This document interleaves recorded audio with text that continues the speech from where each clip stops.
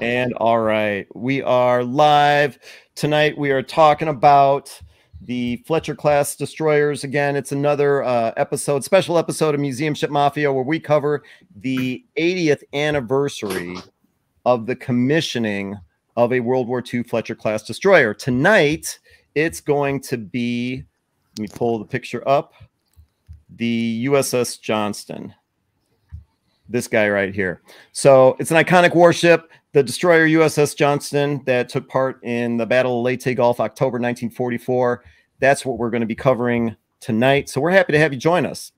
My name is Ken Stano with the YouTube channel History X, and uh, some other people that you see along the bottom of the screen include uh, Shane Stevenson from the Buffalo Naval Park. He's the uh, third from the left. Um, between the two of us. John Epp, curator, USS Slater out of Albany, New York. YouTube channel. If you want to check out their stuff, simply search for the USS Slater. Next, we got Connor Kilgore out of Thunder Bay, Ontario. And he is also one of the administrators for the Museum Ships Facebook group. He's right in the middle, and he's also going to be working behind the scenes, spinning the dials, pulling the levers, answering your questions and any comments that you guys have to make. He's the one that's going to make that magic happen. Next is Tim Nesmith, superintendent from the USS Kidd out of Baton Rouge, Louisiana. To check out the Kidd's content, simply go on YouTube and do a search for the USS Kidd Veterans Museum or check out their website, usskidd.com. Next to Tim, also down in Baton Rouge, you got Parks Stephenson. He's been on the show before always has a lot uh, a lot of interesting stuff to say and tonight of course since we're talking about the johnston and he was there, why not have him along? And then uh, last but not least, some guy by the name of Victor Vescovo, who I might as well just dive into it right away. Since uh, since he was nice enough to join us tonight, Victor, I'm gonna just everyone has to indulge indulge me here because I need to tell you about this guy. Victor Vescovo out of Dallas, Texas, went to uh, attended Stanford, got a master's in MIT and an MBA in Harvard. So there's some intelligence there. Uh, served 20 years in the U.S. Navy intelligence, reti- retiring in 2013 as a commander. And he's completed what's called the Explorer's Grand Slam. Now, what is that? The Explorer's Grand Slam essentially means that he's reached both North and South poles as well as the highest peaks on each of the seven continents, including in 2010. Yes, he was at the, he summited Mount Everest, so Earth's highest, highest point. Taking that a step further, and I find this really interesting, he's also been to the deepest point in each of the world's five oceans. 2019 Challenger Deep in the Mariana Trench took him almost seven miles under the water. And then in 19, also Guinness Book of World's Record listed him as the one person who has covered the greatest vertical distance on our planet without leaving the surface, meaning that he's gone 65,000 feet from the bottom of the deepest point in the oceans to the highest point, Mount Everest. That's a little over 12 miles or 20 kilometers. Um, but of course, it didn't end there. So that's him on top of Mount Everest. Um, he's been diving all over the place, like I just mentioned. But like I said, it didn't end there because in 2022, this guy actually flew to space aboard the New Shepard rocket in the Blue Origin capsule. So, with that being said, um, and he Victor, went to Baton Rouge. Oh, he's what? And he went to Baton Rouge. Oh, that's that good. Completes, that completes the whole thing. So, Victor, thanks for joining us tonight. Welcome to our broadcast. No, thank you very much, and thanks for the the kind intro. I didn't expect that. Well, there's an asterisk with each of those things, though. I got to say, I mean, no 10Ks, no half marathons. uh, no, I've done some marathons and 10Ks and all that. This guy. All right. Um, so uh, happy to have you here. Thanks for joining us. But then let's get on to uh, some of his other stuff. Maritime shipwrecks along with Parks Stephenson, Victor uh, Victor escorted Parks down to the Titanic. I think it was five times. Is that correct? Our team uh, dove Titanic five times. I dove it uh, three times, and Parks was with me on one of the dives. Gotcha. Gotcha. And Victor was the only one to do it solo. And that was probably the most dangerous dive I ever did. Really? Yep. Well, we'll, ha- we'll need to learn a little bit more about that, but I wanted to mention a couple other things here. Um, you also dove to the wreck of the French submarine. Yeah. Is it Minerve twice? Yeah, the Minerve. Yeah, we dove that twice, and uh, there was a bit of a mystery about why it went down. And this isn't a show about the Minerve, but I was able to take down a French admiral that actually commanded that class of ship. And within about uh, an hour of surveying the wreckage, we pretty much figured out what happened to it. Oh, okay. So then, so it wasn't even determined, or no one knew what happened to it until No, it just vanished. It was about an hour out of port out of Toulon, and in heavy seas, it just basically went under after everything was seemingly okay. So it was a big mystery, and they all they went down with all hands. But we found the wreckage. We were able to find the conning tower, and we were able to find. Uh, you know, I'll go ahead and tell you, but it appeared that the snorkel had been snapped by being run over by a container ship, and it caused uh, influx of water that was so rapid that they couldn't uh, counterbalance it, and they uh, they went down, and then it imploded. Whoa. Okay. I see. I'd never heard of the submarine Minerve until I actually started researching you. So that's and that was in 2020 that you made that uh, those dives, correct? Correct. All right. And then in 2021, what we're going to be talking about tonight, of course, you uh, both you and Parks, your discovery of the hull of the USS Johnston, followed in 2022 by the discovery of the destroyer escort Samuel B. Roberts. And Yes. I mean, all all super fascinating. I mean, tonight we're going to be talking about, like I said, the the USS Johnston. But I want to say that for all of you that are watching tonight, because we've got Victor on, because we've got Parks on, they were both there. Send us your questions. Connor in the background will sort them out, try and get them answered. So let us let us know what's on your mind. Real quick, just since you have that picture up, I do want to point out to people if you look closely at the 40 millimeter gun mount on the right hand side of the screen, you can actually see the shells loaded. That's not You- something you see on any of the museum ships these days. Yeah, I noticed Oh. that too.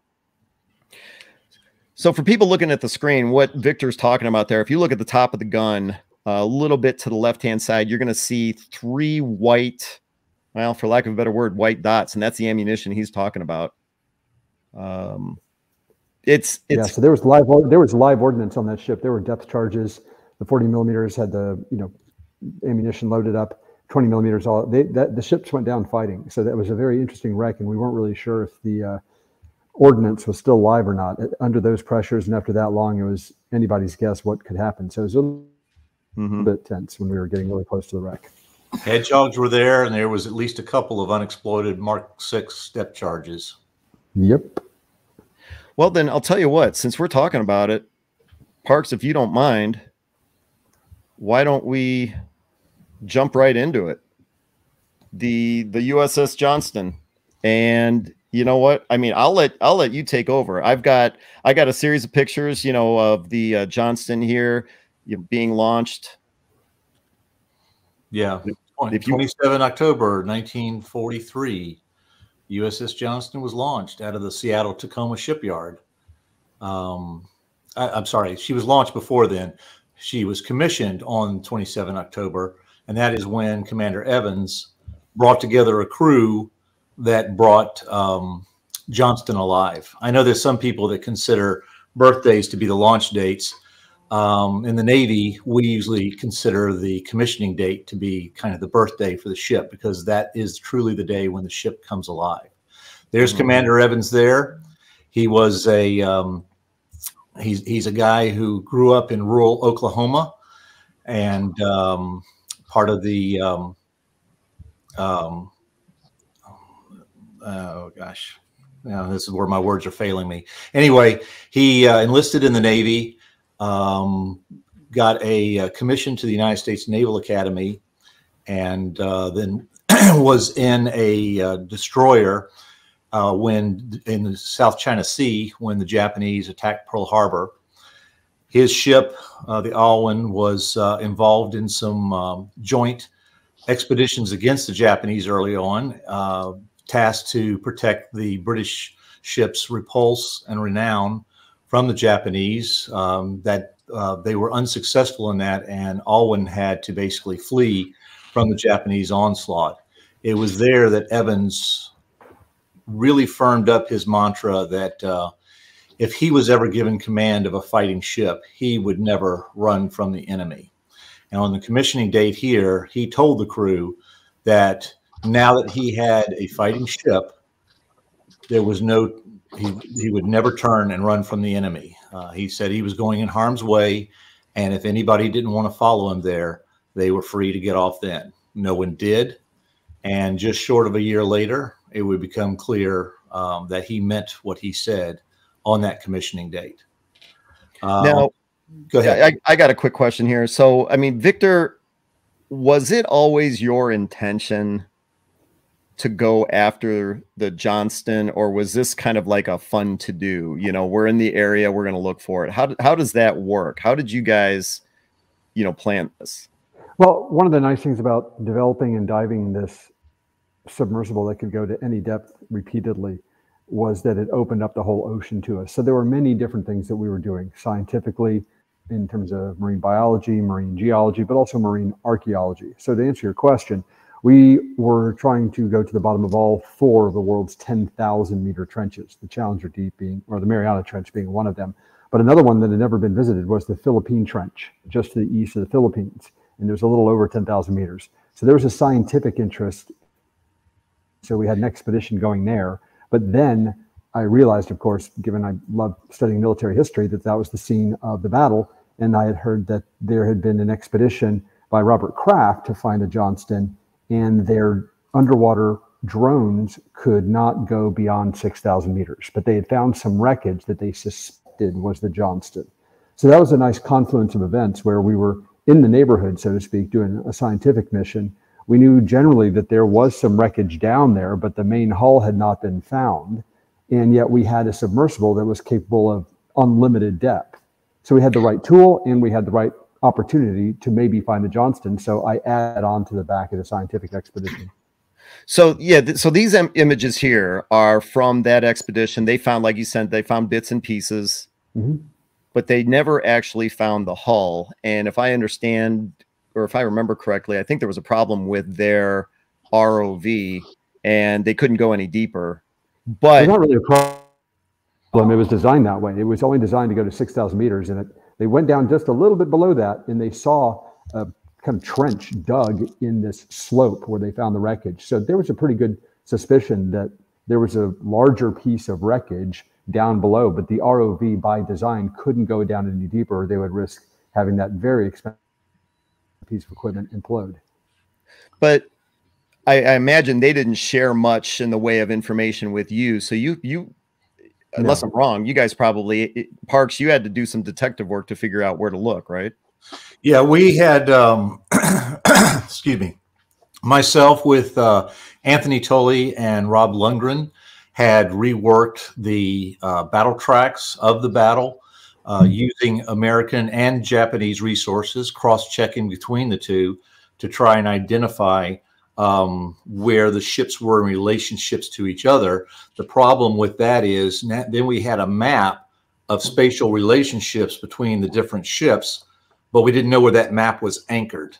So when Vulcan found the debris field, uh, they thought it was either Johnston or Hull uh, with sister ship to Johnston, which also sank that same day. And uh, um, looking at their imagery, and then coming out to the Kidd, that was my first exposure to the Kidd. Uh, Victor and I flew out in May of 2020, right during the height of the pandemic. Victor flew his helicopter directly into Baton Rouge, and we went to the Kidd, which was closed down to the pandemic at the time. And um, based on conversations with Tim aboard the ship, we identified this one beam, this one uniquely shaped beam uh, aft of uh, Mount 54 that showed up in the wreckage of one of the mounts in the Vulcan um, imagery. That mount had an intact barrel and we knew from the battle reports that Hull had taken a Japanese shell, uh, hit the barrel of her Mount 54 and broke it in half. And once that was identified, we knew that we had Johnston. Then other clues would come up too. Uh, there was some wreckage with uh, navy blue 5M paint There was the training ring for Mount 55 ripped out of the main deck. It was undamaged aside from being ripped out of the main deck. And we knew from Hull's battle account that she took a shell right onto her training ring, which froze her 55 mount in train. And so we knew we had Johnston. But again, where was Johnston? Um, pressure drop had transited the area the year before and had created a very high resolution uh, bathymetric map of the ocean bottom. And so we started to look possible uh, likely places that we could find. And, and, and, it was it was very tricky because we were looking at the edge of the trench in the Philippine Sea. In other words, uh, the wreck could be at 6,000 meters. It could be at 9,000 meters.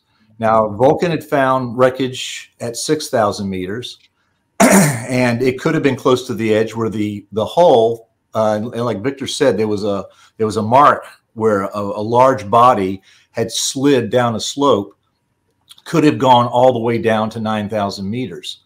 We we had no idea, but we needed to find the debris field that Vulcan had found. We needed to refine that, and uh, the only thing that we had as far as information from Vulcan was was the depth of that debris field, and based upon that depth line, and that that narrows it down to 20 nautical miles basically, where the wreckage could have been. 20 nautical miles is still too large an area to cover when you don't have a large area search capability, and uh, a little bit of history, a little bit of information from Vulcan but then a whole ton of luck put us uh, where we could we, we, would run across where Victor would run across the um, the edge of the debris field on uh, the third dive, and uh, from there found the, uh, the the the mark the, the slide area down the slope, and pressure drop was able to go down the slope and and then Victor saw. Yeah, I'll, I'll, let Victor take it from here. I'll just interject real quick. A common question we get is, well, if you were able to make a map of the seafloor, why didn't you just use the sonar on the ship to find the wreck? You can't because to a sonar, especially operating at that extreme range of 6,000, 8,000 meters, a rock looks like a piece of wreckage and a ship can look like a big ridge or something like that. You can't differentiate it. And many people sometimes think that sonar can detect differences between rock, sand, and metal. Well, they can't they're just bouncing sound waves off of anything. Now, when you get really close with a very short range sonar, metal does give off a little bit of a harder return. So you get a little bit of differentiation, but but not a lot. So we had to physically get it. But the key piece of information was that Vulcan in the open source published the depth that they found that wreckage. So we basically drew a line on the bathymetric chart of where that would be. And then we had to decide whether to go north or go south along that line in a general area. And so in the first couple of dives, we kind of went the wrong direction and then we changed direction. And that's when we picked up the blood trail of the wreckage and were able to find the debris field. And once we found the debris field, we were then able to locate the trench that the majority of the wreck dug as it slid down another several hundred meters. Although, to be quite frank, we had no idea how deep it went down. I mean, we were joking in the sub on the way down. We said, you know, we could be doing this for a thousand meters, but uh, eventually we did find it, and it had not just kind of rest, but it was unusual because the bow was pointing back up slope.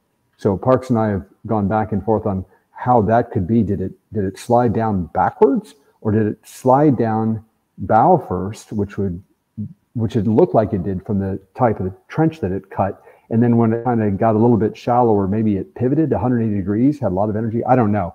But what I do know is it was amazing going down this trench, going down the ravine where the ship had cut, and then seeing it front on. The first thing we saw was the bow. And so the very first thing that we did when we were almost out of power, we'd been down there many, many hours, was let's get to the bow. Can we see the number and get a hard confirmation that it was the Johnston? And it was.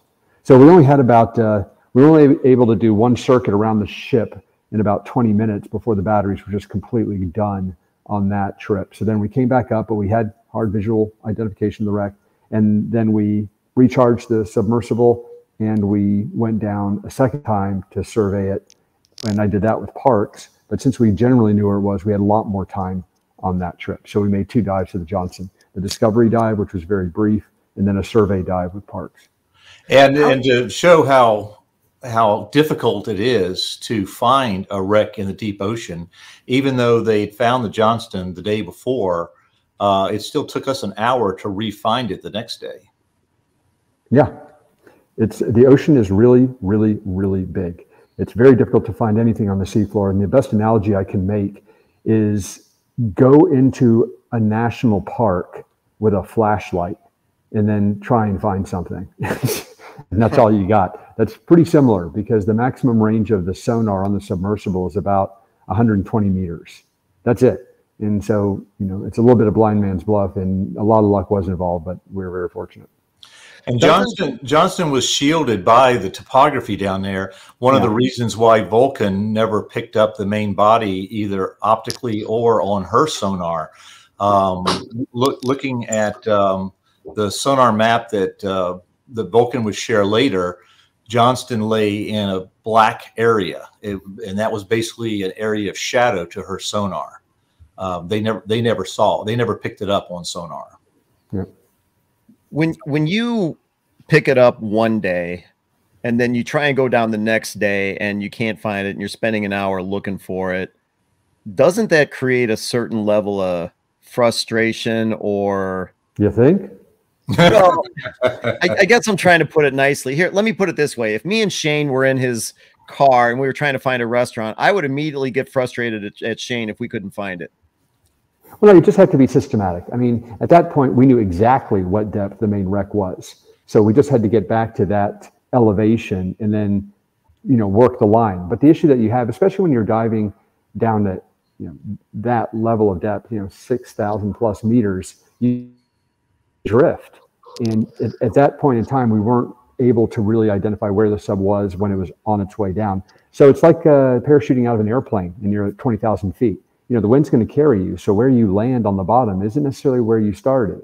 And so then mm-hmm. you've got to kind of backtrack and then try and figure out which way is north. As I, as Parks heard me say any number of times on any number of my dives, things can get very confusing down there when you're at the ultra deep levels. This is not like going on scuba where you've got light, where you kind of know where you are. There's not a lot of drift. We're it took us two plus hours to descend to that depth. That's a lot of time, and some of those currents are strong.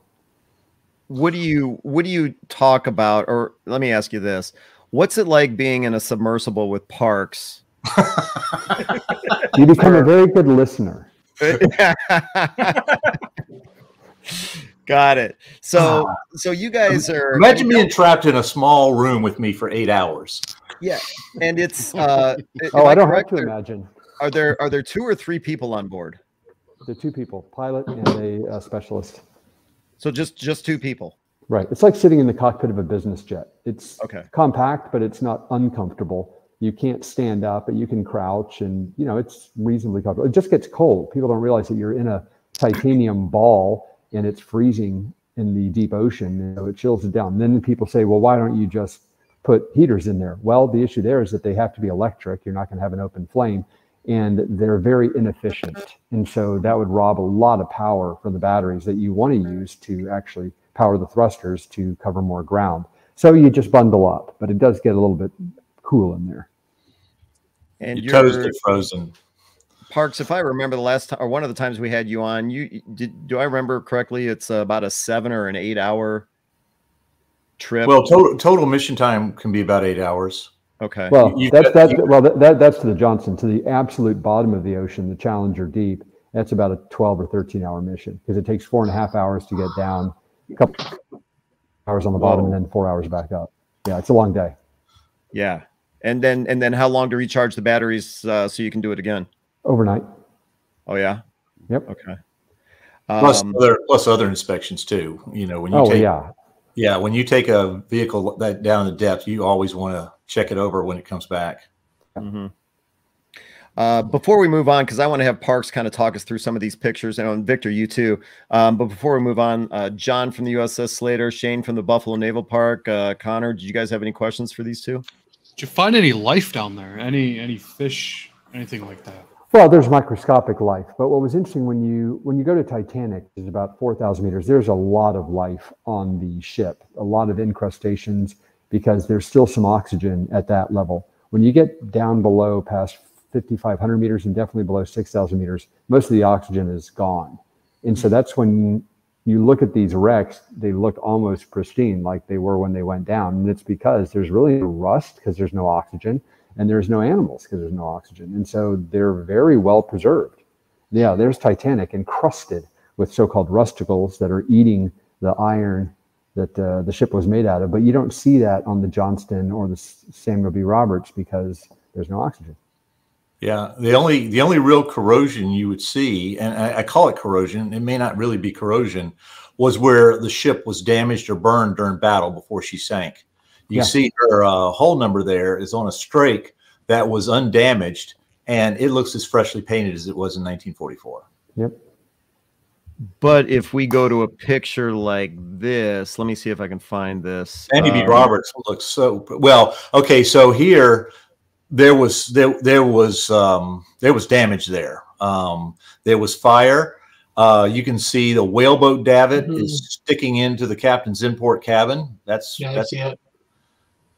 And um, um, everything's everything's relatively intact except where it suffered damage during the battle. I mean, you're going to get some organics, but if you compare this to the Titanic, it's night and day. Yeah.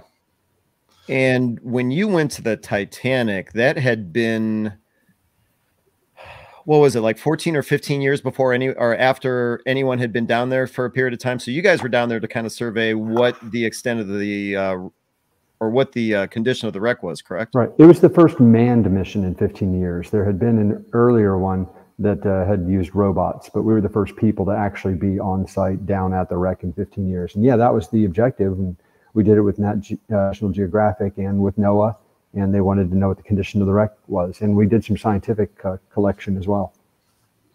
Yeah, I had been on the previous man mission, and so it was 14 years between the two. And then in 2010 was an extensive mapping uh, expedition just using ROVs.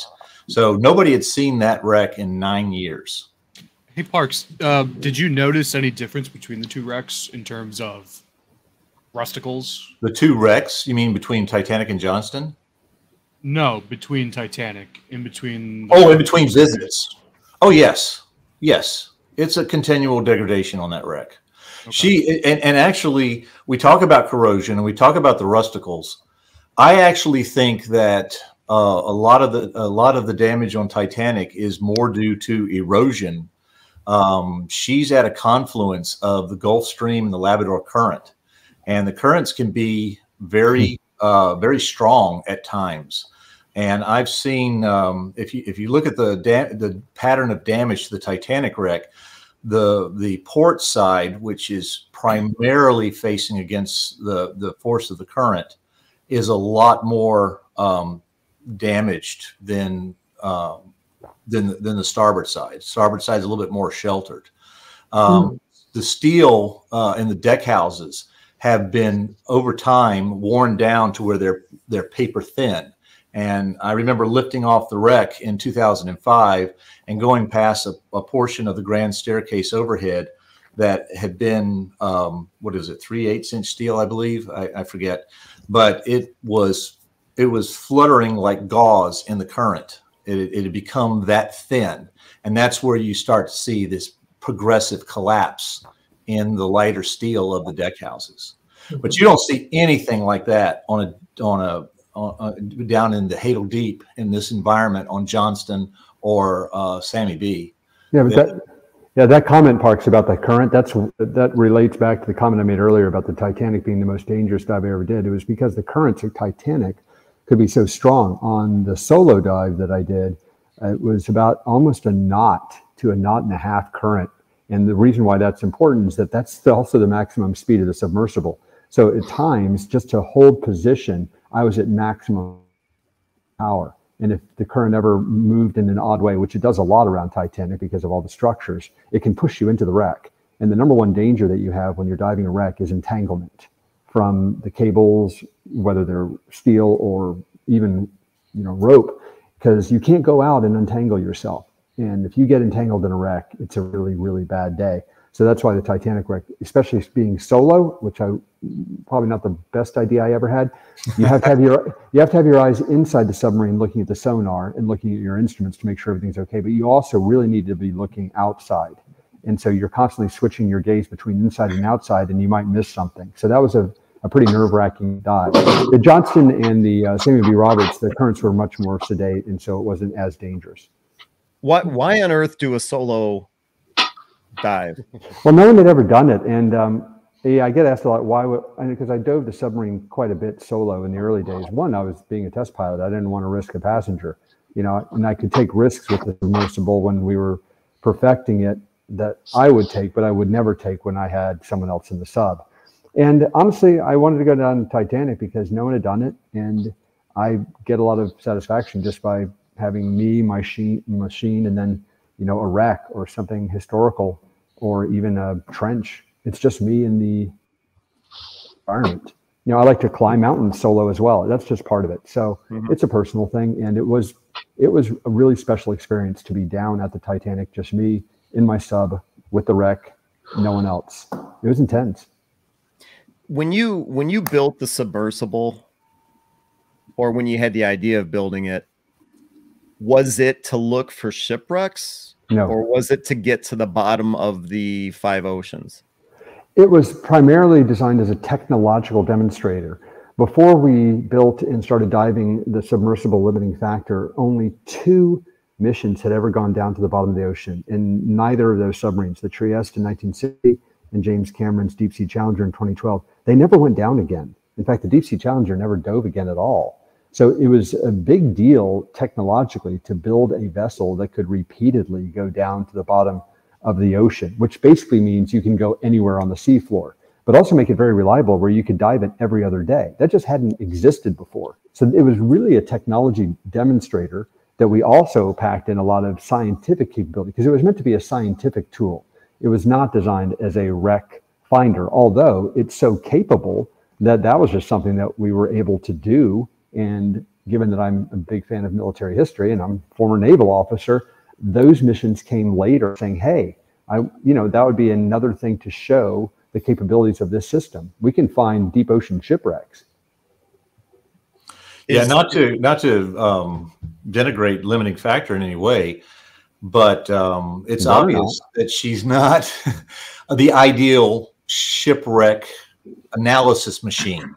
Um, she she was obviously designed to go to the deepest part of the oceans, and and her viewports are set up that way. Uh, everything about her is set up that way. It was a little bit of a challenge to you know view and analyze a shipwreck from limiting factor, but then again, it was the only vehicle in the world the only vehicle available that could that could allow a manned mission down that deep. So um, uh, you know you make you make do with what you with, with what you have. The next generation of submersibles are going. Uh, I, if I can say, Victor, are going to be a, a, accommodate shipwreck exploration and search uh, a little bit better. Well, yeah, I'm actually I'm trying to design uh, the next generation submersible that will be even more capable than the Limiting factor, and we learned so much in deploying that one for four straight years that yes, there would be enhancements to the submersible that would make it a much, much more capable wreck finding and wreck surveying device, along with being do even more science with better cameras, with a wide, a wider sonar, longer range sonar, all sorts of things that we can do to improve it. But uh, other people ask, why don't people just use ROVs to go down and look for these wrecks? You know, they're they're cheaper, and well, the issue is they can't go that deep because think they have to have a cable attached to them for communication and power. That's a long cable. We're talking like four or five miles, and it now becomes a really expensive piece of kit. So there are actually technical limitations to having ROVs go down below 6,000 meters. Well, then people say, why not just use, you know, AI or autonomous machines to go down and survey these wrecks? Well, you know, when you're going down and you want to get up close to get really good pictures of a wreck, you know, machines aren't really good at that. Humans are. We're really good at dynamically assessing a situation and not running into it or getting blown up by some of the munitions on board. So there are missions that are best suited to a human occupied vehicle and diving these really deep wrecks it happens to be one of them mm-hmm. one one of the questions that I had a while ago when um, when Parks had uh, been on with us before was it seemed like this was the end of the discoveries. You know, when it came to the Samuel B. Roberts, um, the whole the Gambier Bay still hadn't been discovered, and my question was, well, is anyone going to be looking for these? And Park's answer was, well, no, because pressure drop you, you, know if it wasn't operating and i think you were thinking about selling it at the time it's like so no there wasn't another vessel out there that could do it but then you just said a few moments ago that you're working on the next generation yeah that'll take about three or four years to design and build a next generation submersible that's how long it took to do the first one but i see this question come up and there were really only two people really passionate about finding deep ocean shipwrecks particularly military ones and that was um, the former founder of uh, Microsoft, uh, um, Vulcan. I'm blanking on his name. Apologies. And uh, he pa- passed away. So that Paul Allen. That, yeah. Oh yeah, that, yeah. Paul that, Allen. Right. Yeah, Paul Allen. So he passed, and that funding went away. Look, what people need to understand: it is extremely expensive to operate deep ocean research vessels. And so I did this all on my own. There was no funding for it. I didn't partner with Discovery Channel or National Geographic or someone because that's has its own issues. So I just funded it. And now that I've sold the system and got a lot of my capital back, so I can keep doing the technological development, which is really the primary motivation that I have for doing uh, marine activities, is to push the technology forward. Is uh, yeah, I don't know that there's anyone out there that's willing to fund it, and it's mm-hmm. really, really expensive. Well, Forbes Forbes mentioned in an article that the submersible itself was 30 million. Is that accurate? More. No, it was more. It was more. All right. And then Forbes mentioned also that um, the vessel, the support vessel here, let me pull it up here, pressure yeah, pressure, uh, drop. pressure drop was uh, was 20 million. Yeah, that, that does, that's about right. But the real kicker is the operating cost. Yeah. Ships are operated 24 7, 365 and that meter it's like being in a, the, the, world's most expensive taxi and that meter never stops so that, that's really the killer and we were running it hard for four years doing all these scientific missions all around the world and then doing spec dives as well so yeah it, it, it can get pretty expensive pretty darn fast so when you when you go down there the next day you can't find it for an hour or so is that in the back of your mind thinking it's like we're just we're wasting battery, we're wasting dollars, we're wasting people's no, time. No, you got to be patient. Uh, I mean, I was a hardcore mountain climber for 25 years, and you have to be patient. You know, you're going to have bad weather days, you're going to have things go wrong. It's part of exploration. And if you're not a patient person, you should not be involved in exploration. You're going to have dry holes. You're not going to have permits uh, agreed to. You're not going to have something work on a good day. You know, we actually went to Titanic twice the first time Parks and I went out to Titanic, we didn't even dive because a hurricane came up and prevented us from ever deploying the submarine. So we had to come back two years later. So you just have to take it in stride. And I, you know, I always get asked about, especially about Titanic. What are you thinking about when you're down there? Isn't it just amazing to be there? Um, and you're you're asking, well, what do you think when you're not finding it? Are you worried and stuff like this? When you're in a dive like that, you are totally focused on the mission. Uh, I'm I'm the data acquisition guy. I've I've got my eyes out the whole time. There's no time. Uh, emotion doesn't come into play during that time. Uh, when we were down there for an hour looking for Johnston, we were looking for Johnston. We had no thought about, oh my gosh, where are we going to find it? Um, the only thought was, what what route do we take next to find it? Where we, we, you're just you're just thinking about getting to the wreck. You're not worried about all that stuff. All that stuff comes later and and uh, but the whole time that you're down there, you are focused on why you're down there. Otherwise, it's a waste of time. Well, then let's go through these photos. These are photos, images that you provided to me a long time ago. Almost, um, geez, could it have been? Well, nine, nine months ago. Oh, it was. Yeah. Anyway, it's it's funny that you you they show the the bow of Johnston on the right there. Um, I was showing the ship to a guy today, and I walked up on the bow with him, and I was I was I was telling him about the ship.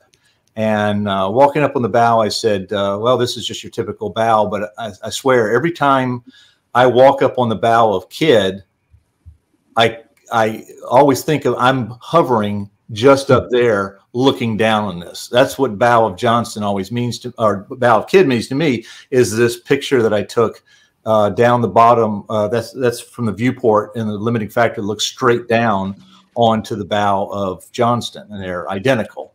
So it's a little little surreal. Uh, every day that I walk the decks of the Kidd, I'm also walking the decks of Johnston as well. Um, but anyway, uh, would you like to talk about these? There's uh, the forward two mounts, uh, mount 51 and 52. Uh, the numbers, uh, the first five indicates it's uh, it's five inch gun, and then they're numbered one, two, three, four, five on the way back as the Fletchers were were set up. Um, Johnston's mounts are pointed to starboard. they were taken out about an hour before the ship went down. Um, and in fact, in that picture right there, if you look at the side of Mount 52, you will see a hole. That is where a shell went into the mount and just about killed everybody in there. Went out the back side of the mount and exploded.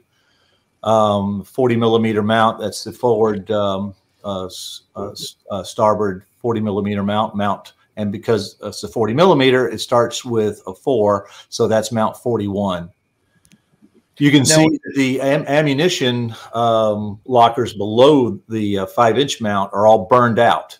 Mm -hmm. um, that was that was a huge fire in that area, and during the battle, uh, late in the battle, that fire would drive Commander Evans from the bridge, and that's when he would go back aft and stand over a scuttle leading down to the aft steering room, giving steering commands to the ship from back aft. Are you guys when you're down there and you discover well, you relocate the hull. I mean, you're you're you're taking video, you're taking pictures, but are you able to actually stop and think or notice or make a conclusion, oh wow, there's a hole in the side of that gun mount? No, yeah, I know. I know where you're going. Uh, a lot of times you don't see all this detail. Okay. I had to watch the imagery multiple times before I could start to pull details out.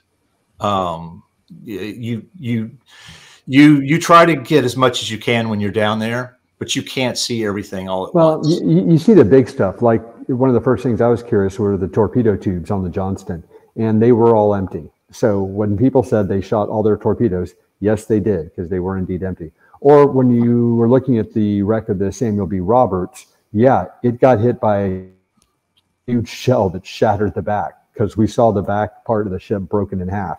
So the big stuff you catch, but I think Parks is right. You know, you go over this imagery that the sub takes over and over and again, and you start noticing little details. And that's why it was frustrating being the pilot of the submersible because you wanted to get really, really close to get detail. But the closer you got, the more danger you were putting yourself in because there was the risk of a you know, sudden current kind of pushing you into the wreck. You, you do not want to touch the wreck. And, and there was, as I mentioned earlier, live ordnance. So, you know, these things are unpredictable and no one had ever been there before. So you don't know what surprises they hold. Well, and when you look at this picture here, you're pretty damn yeah, close to the wreck. I really wanted to get a good picture of the, of the number and, and just see what kind of uh, erosion it had. And you can just see after 80 years underwater at, you know, 6,000 meters, it's, bright as maybe when it went down. So yeah, there were a couple times where I just I said, screw it, I'm going to try and get in really really close. Uh, That'll buff out. yeah. yeah, we got some areas on the Kidd that are in worse condition than that, but uh, but but we're going to dry dock soon, so we'll get it fixed. Uh, this is the starboard midships uh, uh 40 millimeter mount. Uh, this is uh, a mount 44, and it's um, we can see where the, uh, the guns pointed aft and just below where the guns are pointing aft, you can see what was the 40 millimeter uh, ammunition locker. A shell went in there and just blew it out. Um, this evidently happened late in the battle uh, when when Johnston was surrounded by Japanese destroyers who were just taking pot shots at her um, because uh, we don't have any evidence that there was a huge explosion here at that, you know, uh, when when people are were giving eyewitness descriptions. Uh, the amidships mounts were taken out at the beginning of the battle when a um, um, when one of Yamato's shells went into the aft engine room and aft boiler room, and uh, blew debris up the number two stack that fell onto the two um, 40 millimeter mounts on either side and basically took them out of the action. Although there, when, when you have a destroyer going up against four battleships and six cruisers, um, there's not much that, that that those small 40 millimeter and 20 millimeter mounts can do. In fact, it's almost not much that five inch mount can do.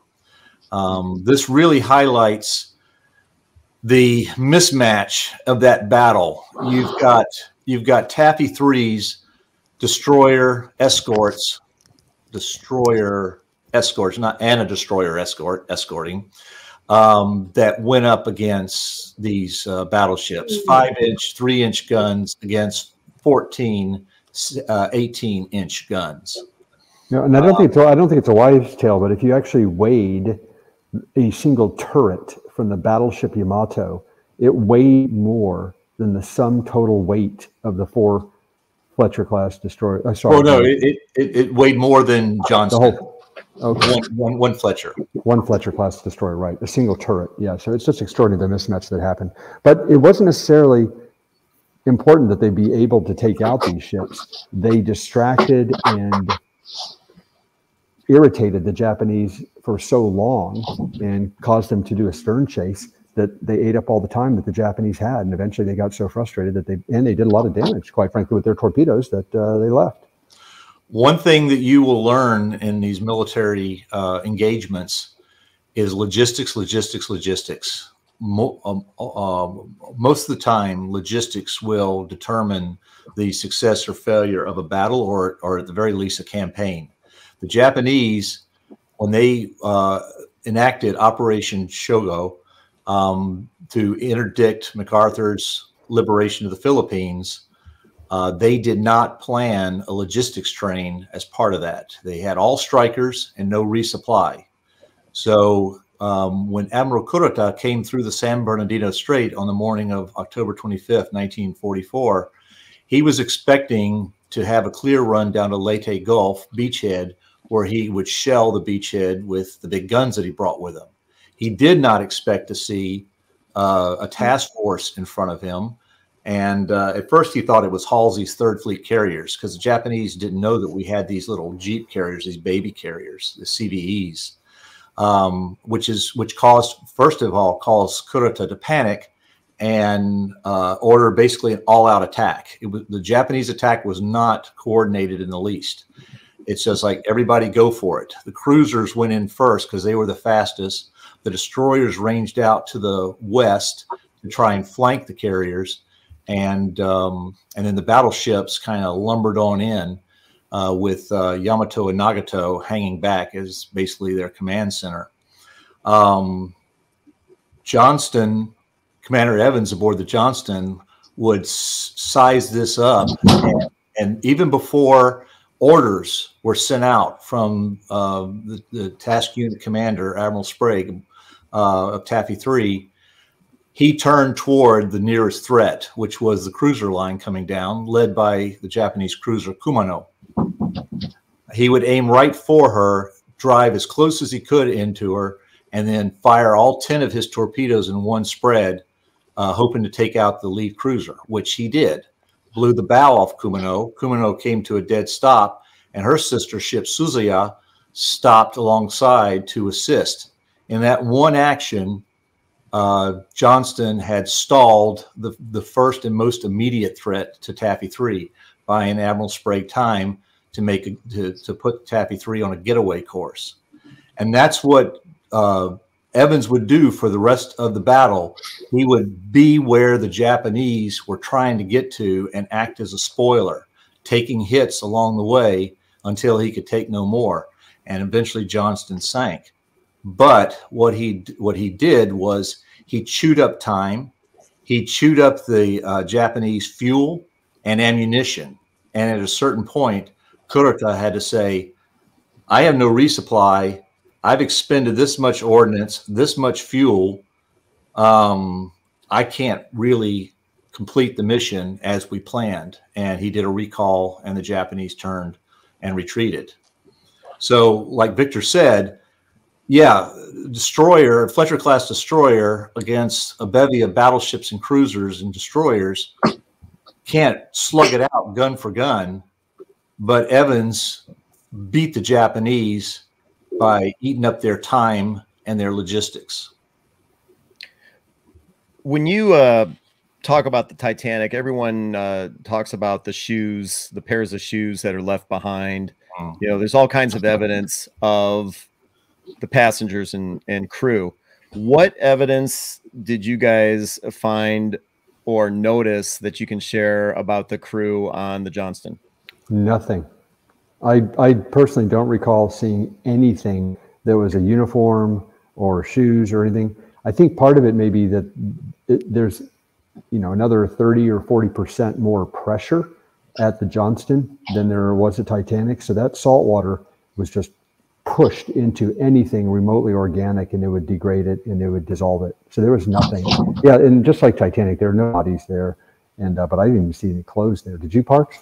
Well, I want to say, and this question comes up all the time. I have never seen human remains at a wreck site um, to this day. I know I know that human remains have been found in some shallow water wrecks like the Hunley, uh, the U-166, and some others. Um, but in these deep ocean wrecks, I, I haven't seen any human remains. In Titanic, you mentioned the shoes. I actually argue against a lot of it. Uh, most of the examples of shoes I see are not actually in a natural position. And you got to realize Titanic was a passenger liner who had a lot of luggage. Uh, that stuff all spilled out in her fall to the ocean floor. Titanic fell two miles, two and a half miles. Johnston and uh, Sammy B uh, almost double that as a ship is as, as as a ship that is fully flooded, fully equalized, as she's going down, you've got a lot of water flowing across and through that wreck. Um, anything lightweight is usually washed out on the fall down to the bottom and deposited on the ocean floor. In the case of Johnston, in her debris field, uh, looking as, as I, I, going through both the Vulcan's imagery and our own, the only human evidence I saw were two helmets. Now, I cannot say that they were attached to a body because helmets were um, uh, mounted around the ship. There were helmet bales around the uh, gun mounts. Um, who knows where the helmet came from? It's just another piece of debris from the ship.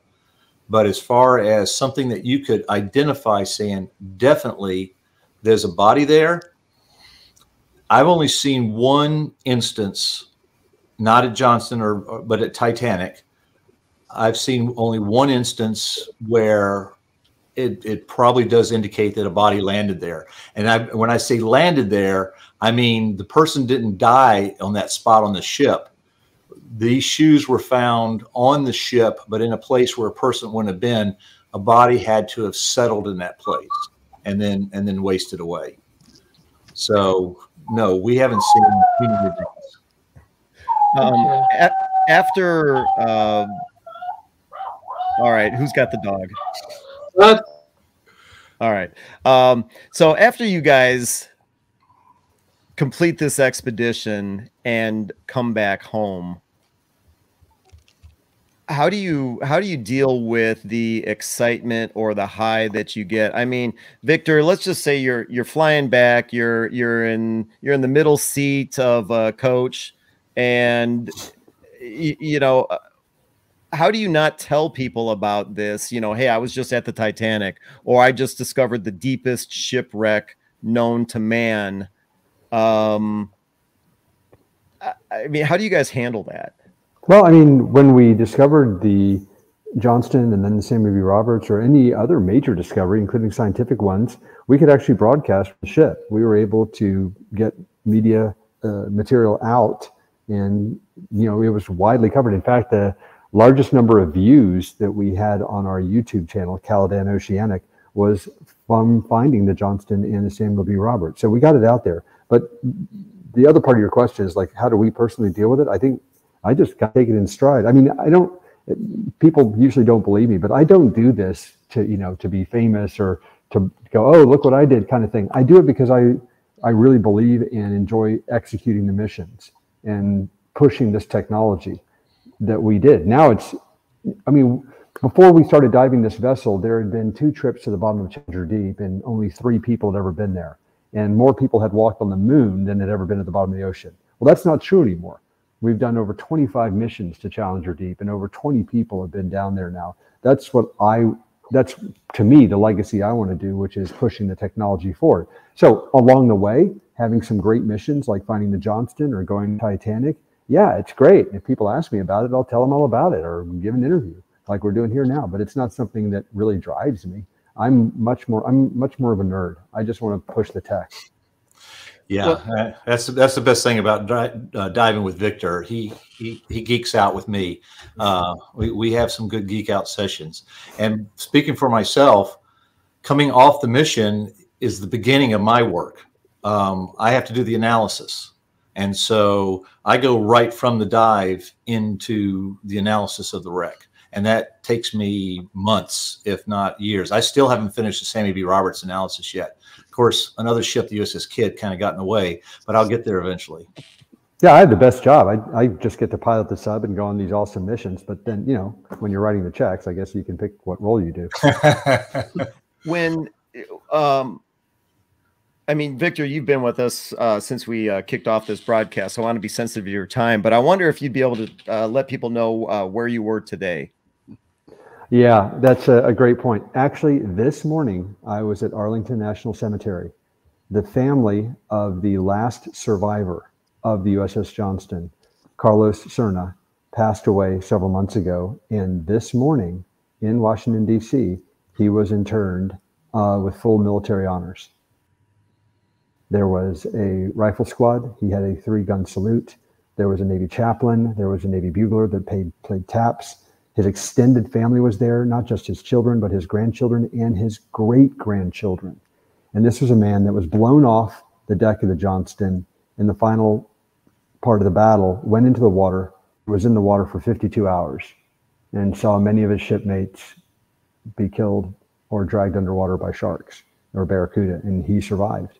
And to see his whole extended family there paying tribute to them. And yeah, the people were crying, and they obviously cared deeply for this man who lived to be 101 years old. But he was the last man.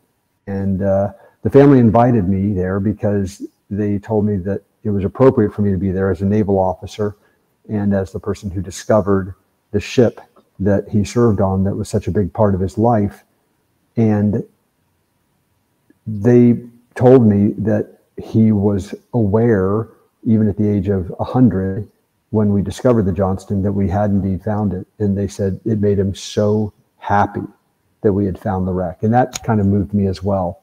And so uh, for this morning, I was part of that extended family. And I, I think it just helped things come full circle where this 23 year old individual who's a radio man who was in his bunk when the battle started, but obviously then went to his battle station and fought as a radio operator, you know, then we found the wreck, you know, almost 80 years later, and I was a part of that. And we were all Navy family, and uh, it was a very moving experience. Was he the only survivor that was around when you actually made the discovery? Yes. He was the only one. Mm-hmm. Oh. And I did actually speak with him on the phone, but you know, he had a hard time hearing me. He had a hard time understanding what I was saying. But I was told by his family that they they showed him the pictures of the ship from the mission that Parks and I went on. And they said that, yeah, that he was extremely happy that we had found the wreck. And the family was happy as well. said it gave them such great closure and respect for what, you know, their father, grandfather, great grandfather did in the battle because you could just see the damage and the horror that the ship went through. And that, I think, touched a lot of people because that was the best thing about finding the Johnston and the Sammy B was it gave us this incredible opportunity to retell the story of that battle and what these incredibly brave young men, many in their 18, 19 years old, did in this battle. And so many younger people have no idea at all about what these people did in World War II. And and then they get interested and we get to tell the story. And I'll add to that that uh, immediately after we found the wreck in March of 2021, uh, took the imagery and sent it to Jim Hornfischer, who had written the book, the seminal book, Last Stand of the Tin Can Sailors, uh, which is, you know, must read for every destroyer enthusiast. And uh, Jim was um, in the terminal stages of brain cancer uh, at that point, but uh, he got to see the images of Johnston before he passed. And his son said how important that was to him. And even though he wasn't crew, he's part of this history. Yeah, if if anyone isn't aware, uh, there's an incredible book called um, "The Last Stand of the Tin Can." Say it was like Park said, James Hornfischer, who passed away, I want to say three years ago. It was in 2021. Okay, all right, so so two years. I mean, not long. Fantastic author. It's a fantastic book. If you get the chance to check it out, if you find this type of thing fascinating, it's definitely as as Parks mentioned a must read. Uh, it, it, it's a great book. So so definitely check it out. Um, Victor, so before we let you go and talk behind your back, what is? Yeah. Oh, we will. What? So what is next for you? Uh, you know, you said it takes two, three, four years for your next submersible design to come along. I can't imagine someone like you is sitting on your hands right now. No, that that's not going to happen. Well, it took four years to design and build the limiting factor, and then we dove it intensively through COVID for four years. So that was an eight-year mission that was incredibly intense. I do have a day job. I'm a private investor in industrial private equity. I also do venture capital. So I'm kind of focusing on that. I just started my own investment office in the last six months. So, you know, going back to make some money so I can fund all these different hobbies. And one of those is involving, you know, really high end venture capital. I'm now CEO of a biotechnology company. We're trying to cure some incurable diseases using artificial viruses. I'm also an investor and on the board of advisors of Colossal Biosciences. We are trying to de extinct species that have passed away from the earth. And we're hoping to birth our first animal next year, which is probably going to break the internet when we announce that. And so I'm doing a lot of technology things.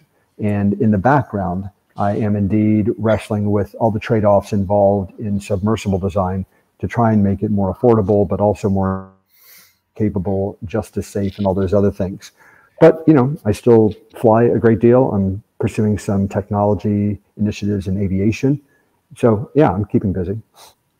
Did, uh, did assuming oh, oh by the way oh, of, of most interest to this group and the extended group that would be watching this is i am in the background along with parks and others i am doing long range planning okay if i am able to build another submersible and get back out in the ocean what is my top 10 list for wrecks that we would go after? Mm-hmm. I absolutely want to find the hole in the Gambier Bay. And then there are several other wrecks, maybe the Shinano and some others that have not been discovered that we still want to find. The, you know, the Hiryu and the Soryu, I don't think have been found uh, either. So there's a lot of wrecks that are on my list. And it'd be great to be able to do a lot of the legwork beforehand because you don't want to waste a lot of time, you know, when you're actually on the site. Yeah, I'm I'm rooting for Victor on these plans and hope he keeps me around because uh, I'm working with other historians to develop potential search plans for a long list of wrecks in the Pacific. Um, we're concentrating on the Pacific right now, um, and there are a lot of wrecks that have yet to be found. So hopefully, by the time he's got a submersible ready to go, we will have a game plan for finding some of these elusive wrecks and there's a couple of Fletchers in that list. How did you guys meet? That's a great story. um, you, you, tell it, Park. Well, overall, um, uh, I, I, uh, in my Titanic dives, I uh, knew a, a, guy named Rob McCallum who organizes charters of various explorations, uh, and and I I'd worked with him on Titanic. Uh, when Victor decided, and this is the thing that always blew my mind. Originally, Titanic was meant to be kind of a test dive for limiting factor because it was considered a shallow wreck. For someone who's always thought of Titanic as being really deep, uh, to to Victor and his team, it was a relatively shallow wreck. And so I guess Victor uh, was looking for a guide to Titanic, and he he contacted Rob, and Rob uh, put my name in front of him.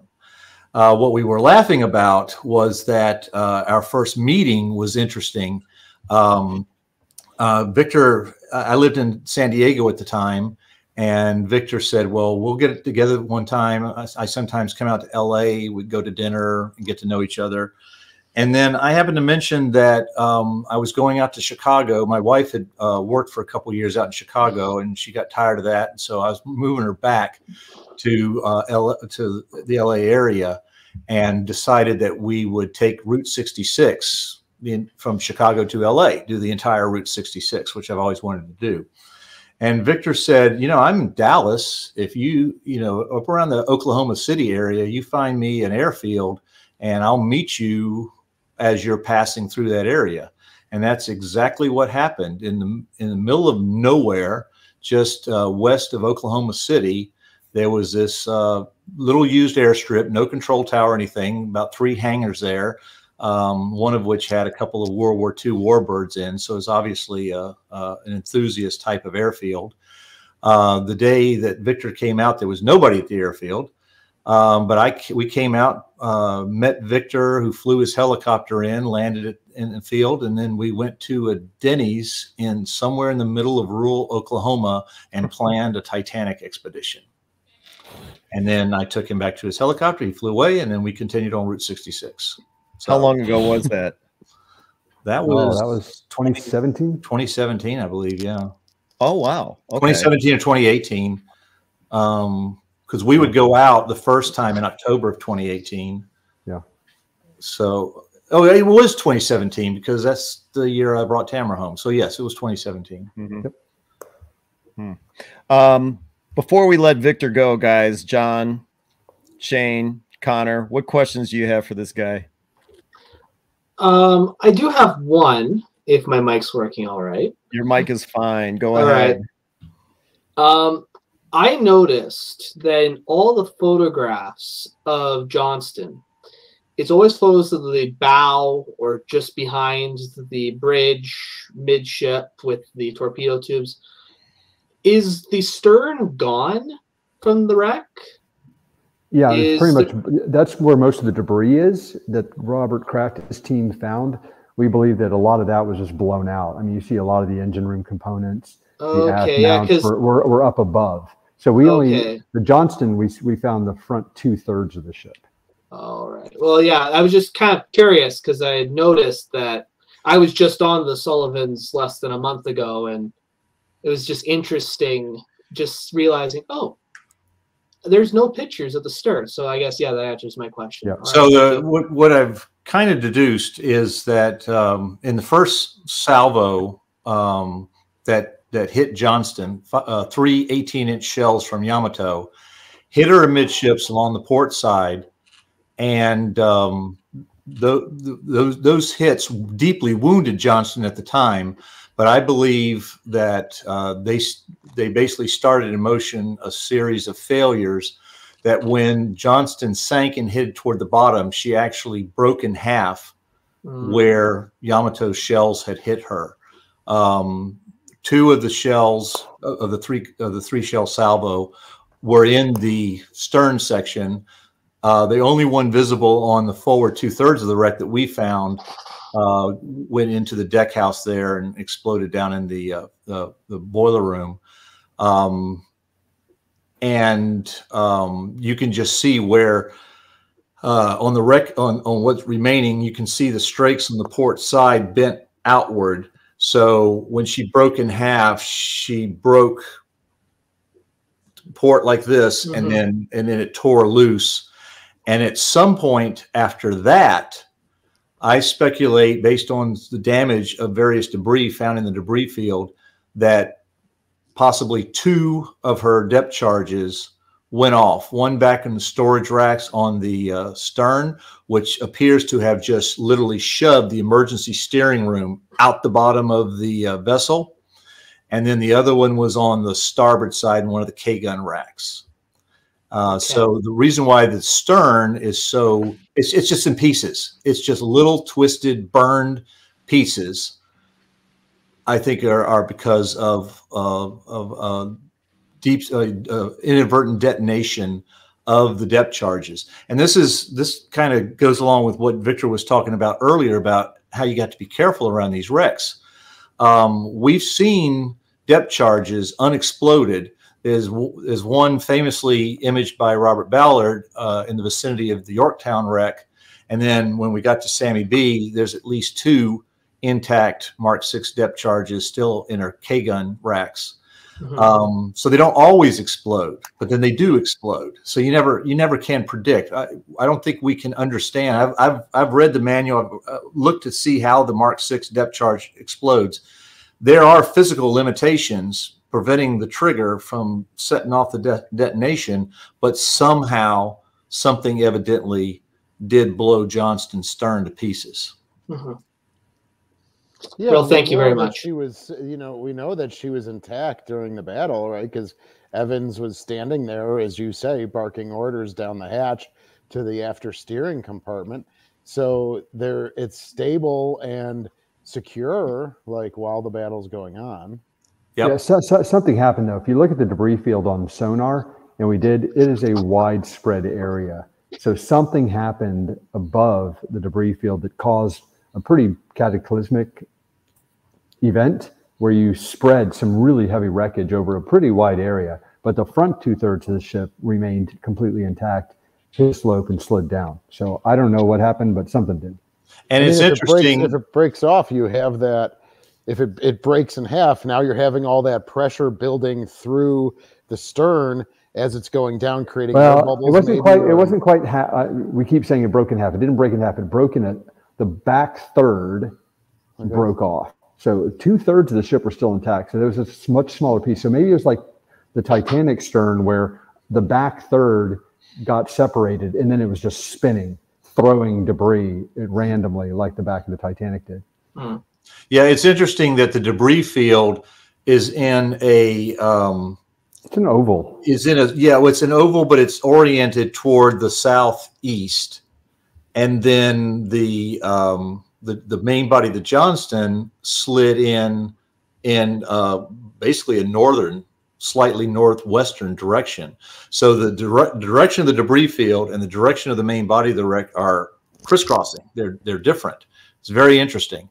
So they did separate in the water column after after she sank. Yeah, yeah. There you go. I mean that. I mean that's pretty much. It's almost like you know four fifths of the ship was intact in just the back. You see that piece at the bottom, uh, kind of bottom right, that's jutting out at 90 degrees. That piece yeah. scared the crap out of me because we were going along the side of the ship to get you know close and get good pictures, and I couldn't really see out that side. So I came damn close to running into it, and that's the big risk that you face of potential entanglement. If that had been a cable, that would have been a really really bad day. But at the very last minute, I kind of caught it in terms of uh, seeing it on a camera, and I did an evasive maneuver and, and got away.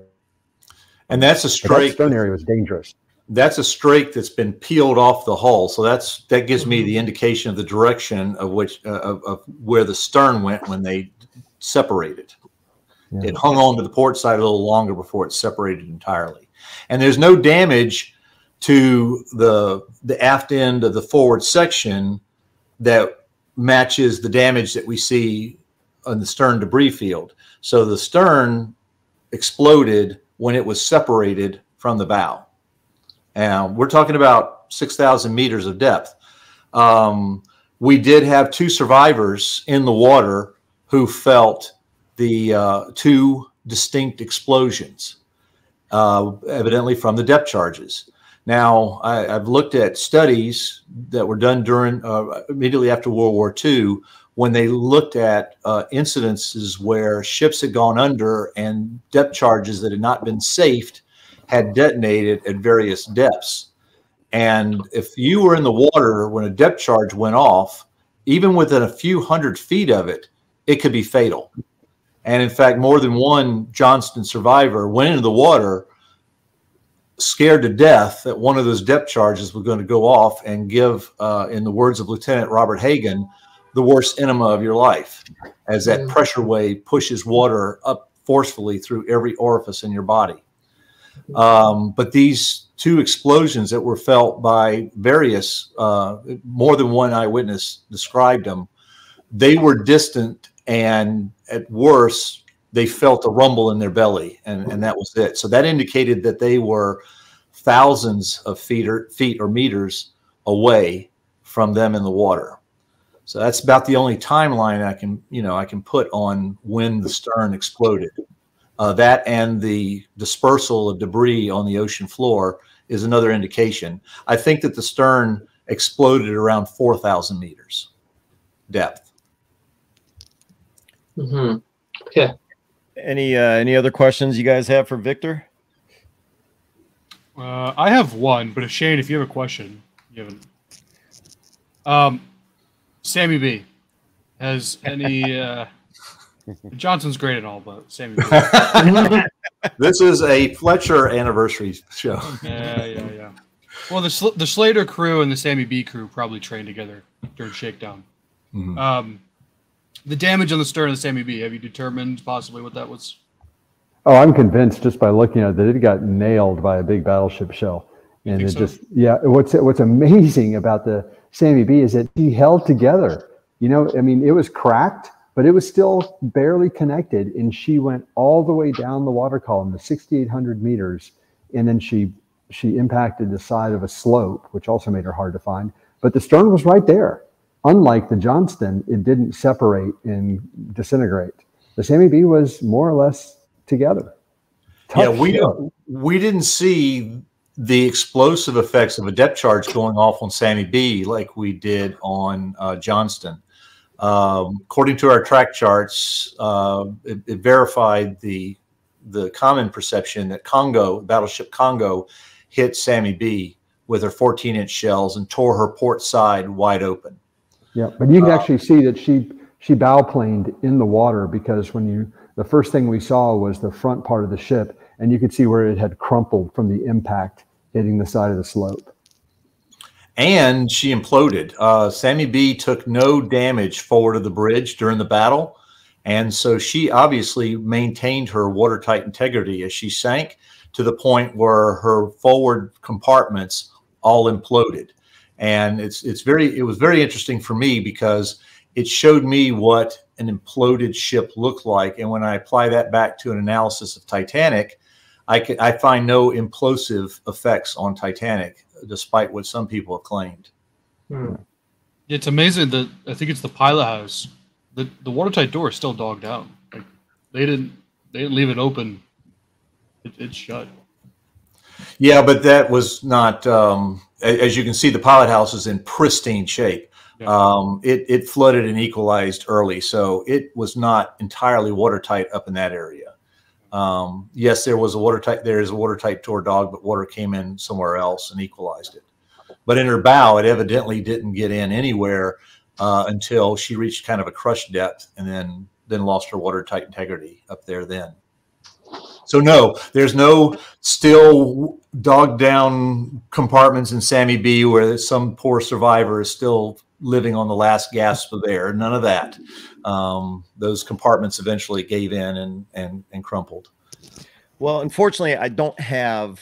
I didn't think to include any pictures of the Samuel B. Roberts, but uh, Parks, what do you think of the uh, chance that we could get this Victor guy back on with us to talk about the Samuel B. Roberts?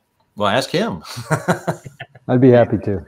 Yeah, Yeah, it, it would be great because I mean, if you're not aware, John uh, is the curator of the USS Slater in Albany, so he's got a special connection to uh, destroyer escorts, and we'd love to have you back on to talk about. Well, I mean, the search for the Samuel B. Roberts, what it was like to find the torpedo tubes, you know, all that kind of stuff. That was even Oh, I- harder because no one had found that wreck before, so that was a fresh find. We had Mhm. no guidance, and uh, that was a different search, but we got it. Yeah, what were you gonna say, John?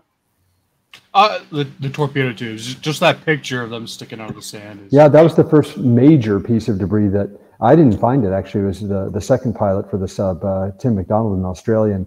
So he found it, and it was very exciting on the ship when they requested to stay down a little bit longer when they found the torpedo racks. And then when they came up, they said, "Yeah, it was a triple torpedo rack." Then we knew it had to be the Sammy B because it was the only triple rack in the whole fleet uh, that fall that day. So th- then it was then the pressure was on me. I was the pilot the next day. Now I got to go find the main wreck. That was it was very very exciting. Well, then, yeah, we'll definitely have you on. It's been a thrill to have you on here tonight. Well, thanks for the Um, invitation. Yeah, and uh, uh, before before I let you go, um, your favorite war movie? That's a real tough one. Probably Das Boot. Oh, okay, all right. Yeah. That's a good one. Especially, come on, submarine. All right. Well, like I said, it's been a thrill having you on here. Victor Vescovo out of Dallas, Texas, discoverer of the USS Johnston. Uh, thanks for joining us tonight. And like I said before, we're going to boot you off and uh, talk behind your back. Sounds good to me. Thank you All so right. much. Thank you, gentlemen. Thank you. Take care. Thanks, Yeah. Victor. You have a good night, Victor. Okay, so there were 18 other Fletchers that were lost. Hold on a second. I can't believe I can't believe I was just talking to Victor Vescovo. I He's uh, he's one of the most down to earth, famous people you will ever meet. Um, I just it's it's just like I said, he's a fellow geek. He's like any of us, but he has money. It's a big difference. Um, Marks, speaking about fellow geek, let let the viewers know about the absolute geekiness of you and Victor down in the sub and your sci-fi sci-fi uh, connection. Oh yeah, uh, yeah. To show what a geek that that that Victor is, um, I don't know how many of you have heard of the 501st Legion. Mhm. Is the official Star Wars costuming uh, club. Um, I no, I've, I- I've never heard of that. oh yeah, well, Really? look look it up.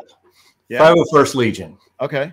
Anyway, um, I was a um, I was I was a part of the 501st. Yeah, I had my ATAT driver outfit, my Imperial officer outfit, all that good stuff. Um, before the dive on Titanic in 2019, actually no, I take it back. It was during the um, the that desert meeting uh, where where Victor and I planned the Titanic expedition. Somehow I mentioned it. I don't know why, and Victor goes, "Oh yeah, I'm a Mandalorian." And whoa! And so uh, in 2019, two 501st Legion members dived to the wreck of Titanic, and the 501st Legion didn't care one bit. They they because you weren't in costume. Yeah, I took their challenge coin down, you know, imaged it at the Titanic wreck, sent it to them. They couldn't care less. And What? so uh, that's a little bit of a buzzkill when you're a geek, Yeah, no kidding. when your uh, organization just ignores you like that. And uh, I, I've let my 501st Legion um, uh, membership lapse, but that's also because, as all of you guys know, a freaking museum ship consumes your life. yep. Well, So- then if you would have found a, di- a star destroyer buried in the sand on Tatooine, it would have been a different story. That didn't happen. Jakku, Jakku, Jakku. Jakku. I have no idea what you guys are talking about. You know, how do you know there's not a star destroyer somewhere on Tatooine? That's a big planet. Mhm. We only saw a small part of it in the movies. it would be a ricotta ship. Okay. Yeah. Anyway. Yeah, I probably would. He's right. Okay. Okay. So I cannot hold a candle in Star Wars geekdom to my colleague Tim Nesmith here. Oh yeah. So I'm a I'm a films guy. He's an expanded universe and everything involved with uh, uh, Star Wars kind of guy. So yeah. Well, uh, speaking of Tim, um, did you want to try and tackle the uh, destroyers that were lost? Because I'm already looking at the clock. It's 20 after nine on the Eastern time. Um, what do you guys think? Do you? Or do you want to schedule it for another time? Shane? I don't know what that means. Like to cover the other the ninth the other 18 that were lost, like to go into detail about how they were lost.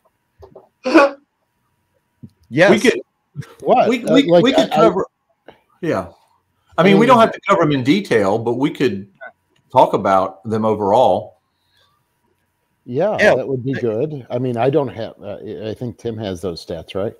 yeah. Yeah, I've got some of them. Okay. Yeah, let, let let's let's uh, let's do it real quick, and I'll try and I'll try and keep up with you. Actually, you know what? Here here's what I'll do. Um, That's Halligan. Wow. What happened to her? Hang on. I don't have this all memorized in my head like Tim. no, no, that's go all right. I don't I don't expect you to have it all memorized, but Yeah. you know the reason I say this, and I know it's we're already running way past time, but the photos that you sent me are amazing, and I I, I want to make sure that I they get shared. Sure. Well, here, let me So back This up. is Oh, yeah. Halligan. yeah, go ahead. and Halligan was on night patrol duty, and uh, at some point, she was engulfed in this huge explosion, sent debris over 200 feet in the air, and clouded her from view. And witnesses on nearby vessels, when they saw her emerge, she was still underway, but she was missing everything forward of her number one smokestack. The bridge was gone. Likely, she Wow. struck a mine. Um, she started Mhm. settling forward. They evacuated her in about an hour. And when all the rescue ships left with the crew, and there's, I think there's a photo showing them a little bit later, they were thinking she was gone. But the following morning, she she was spotted washed up on shore on a reef about 50 feet away from shore, and she drifted 12 miles from the site of the explosion. She'd been beaten up by the waves, the surf, and hit at least twice by a Japanese shore battery. An inspection team evaluated her. Only about 15% of the equipment was salvageable. And there she remained uh, until after the war. And then uh, she was donated to the government of the Ryukyu Islands for scrap. Is this picture also the Halligan here? That's the Halligan, yes. Okay, all right. I want to make sure because the the photos that you sent me, like I said, they're amazing, but they weren't in any particular order. So I want to make sure we're talking about the right. Um, the Yeah, right and and I I think the the one message that we'd like to cover here today when we talk about the lost Fletchers is how tough these ships were. Uh, some of, I mean, yes, nineteen were lost. We've got some even more amazing pictures of torn up Fletchers that were not lost that um, that made it back. Um, out of the 19 Fletchers, I was asking Tim the number before we signed on. How many were lost to kamikaze attacks? a good half of them, 10 out of 19, were lost to kamikaze attacks, which highlights one of the Fletcher's biggest threats, especially toward the end of the war. When you talk about the Okinawa campaign and um, uh, the preparations for the invasion of Japan. Um, Kidd took a you know kamikaze, and um uh, she made it back into port and was fixed up, and she still survives today. Um, Spence was lost in a typhoon, along with the Hull and the Monaghan. Um, but as as as as Tim picks some of these examples up, I just want to point out um, what it takes to take out a Fletcher. It takes a lot. Mhm. And a perfect example of that is the Bush and the Colhoun talking about kamikazes on April 6th. Uh, Bush gets into trouble, has has aircraft coming in at her, and takes a hit. Ultimately, she ended up taking uh, three hits by aircraft and bombs. And Bush is coming in to help her, and Bush ends up she shot down five kamikaze aircraft but ended up taking four kamikaze slash bomb strikes uh, before both of them ended up sinking. Uh, Cassin Young, uh, Buzz isn't here tonight, but Cassin Young ended up having to uh, sink the Colhoun by gunfire. She still wasn't going under, but she was a loss, and they needed to get get her out of the way before the Japanese could get out there and take her. So, I mean, that's a total for two ships of nine hits from a plane or a bomb. That's just insane. Um, Lego history. Sam was. I know he keeps on Yeah. talking about the William D. Porter. He's Yeah, you got her it all the pictures. time. There you go. Are you going to cover that now? Yeah, yeah. Uh, William Okay. D. Porter. Uh, Thank you, Sam. I'm just gonna I'm just gonna briefly mention why she's the unluckiest ship in the in the United States Navy. Uh, she just had bad luck her whole run. Uh, she was escorting Roosevelt, FDR, and the Iowa across the Atlantic with with the task force, um, and just due to just sheer dumb luck and bad communication, she dropped depth charges in front of some of the capital ships, live depth charges. She um, fired across somebody's bow, if I remember correctly. Oh, Uh, she ends up firing live torpedoes toward the Iowa, and they're under radio silence. And they finally had to break radio silence out in the middle of the Atlantic U-boat territory and say, "Live fish headed your way." And Iowa turns away and, and avoids it. But at the same time, that's happening. Iowa's turrets. Imagine these big 16-inch turrets, all the five-inch turrets, 40s, everything turning on this little bitty small boy, because the president's on board. Is there a fifth column on this ship? What's going on? And they ordered her to detach from the task force, go down. I think it was to Bermuda, and Was basically had Mark Harmon slamming his hand on the on the desk, going, "What are you doing?" Um, and pretty much discovered they just had bad communication with each other. Um, she ends up in the Pacific. She gets to Okinawa. These pictures you see here, and bad luck strikes one more time. Uh, she had uh, a time. Uh oh. uh Parks, did you pay the internet bill this month? Yeah, Parks. Well, let me tell you about the Wi-Fi challenges we have at the museum. Um, we uh, on we are on the outboard side of the railroad tracks, which isolates us from downtown Baton Rouge, and that includes um, Wi-Fi connection. Uh, it has not been upgraded in many years because they won't run lines underneath the railroad tracks, so we're stuck with. Uh, uh, I think it's 50 gigabyte speed. I think is the best, and then you have what Tim's frozen here now. All right. Well, then here So- we're gonna pull we're gonna pull Shane up to bat Okay, go ahead. because I know he knows a little bit about this one. Uh oh. You're putting me on this. Oh, the Abner Read. Right. yeah. Okay, so yeah, there's the two wicked wrecks of the Abner Read, one in the Aleutians, and then I can't remember where she was actually sunk. But I think that prior picture, uh, where the, the the the bow is straight up and down, is that the Abner Read, if I remember right? Uh Go with the one. Pri- yeah, that one. Is that Abner Read, or was that identified as? uh Like, I do not Tim have his see? I do not see an identifier. It could be. Yeah, that was taken from an aircraft carrier, but I just can't remember the ship. I've I've Oh, seen okay. that picture plenty of times. Um, yeah, so she was uh, in the Aleutians, um, and her stern was blown off uh, from a mine. And again, as Parks had said, uh, you know they're pretty. I think it was Parks or Tim. She was pretty. The you know Fletchers were pretty sturdy for what damage they could take, and of course these guys were DC drilling all the time. Uh, you know, especially talking about Johnston and you know uh, General Quarters Johnny, GQ Johnny. Uh, they were drilling all the time, and then uh, so that she was repaired, uh, put into the Pacific, and uh, then eventually was sunk. Uh, I just don't have that information with me right now. yeah, she sank off uh, uh, Kiska in Alaska. Oh, Yeah, that's and that's where she was discovered uh, by um, by NOAA in 2018. oh, Mhm. Tim's back. Oh yeah. Lego history, Sam. I'm talking about a bad luck ship, and I got booted from the internet. So Well, that's all right. No, we uh we moved on to the Abner Read and uh Shane um on the uh, Buffalo Naval Park. I know did at least one, possibly two videos on the Abner Read, and so we had we had Shane come up to bat for you. a little Um, bit. yeah. excellent. Let's see here. Did you finish Porter? Well, yeah, kind of, but then Shane Okay. had an interesting question. So this Yeah. picture here, the bow that's sticking straight upright. What what which uh which ship is that? That's Porter. That's Porter. Okay. That's Porter. The wreckage of the plane drifted under her, and then the bomb detonated, lifted her up, and broke her back. Wow. Wow. And ironically, not a single crew member lost. Every Mhm. crew member got off. Yeah. All right, then here she had bad luck, but she could have had worse luck. She could have had worse luck. She saved all her good luck for the end. And by the way, notice the sonar dome. yeah, yeah, yeah. Yeah.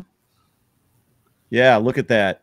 That uh, I'm glad you pointed that out because I didn't uh, I didn't make the connection, but yeah, you can see it clearly right there. Yeah. Um, We got to make All right. sure we don't damage ours as we get out of the cradle. Uh, Yeah. uh, Tim, what is Yeah. which which Fletcher is this? That's Halligan. That's Halligan. Okay. That's Halligan again. All right. Let me. Okay, we did the Abner Read, and then you had some several. Well, let's see. It looks like maybe 10 photos of some underwater wreckage. And let me pull that up here. So we're looking for number 12. All right, here we go. That I believe is the strong, and Tammy Johnson is in the audience, I believe, unless she's left. Uh, and she is with the Strong Association. I believe her dad was on board.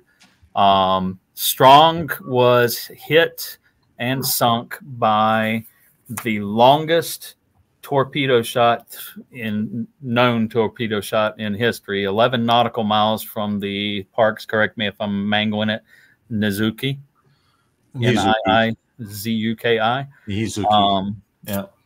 she was going uh, into Engane and she took the hit. Uh, it uh, tore her up something fierce. Chevalier was right beside her, rammed her at an angle so that they could get the crew off and throw the nets over so the crew could get over safely. Um, and then I believe Petrel is the ones, yeah, Petrel found her in 2019 uh, with the wreckage.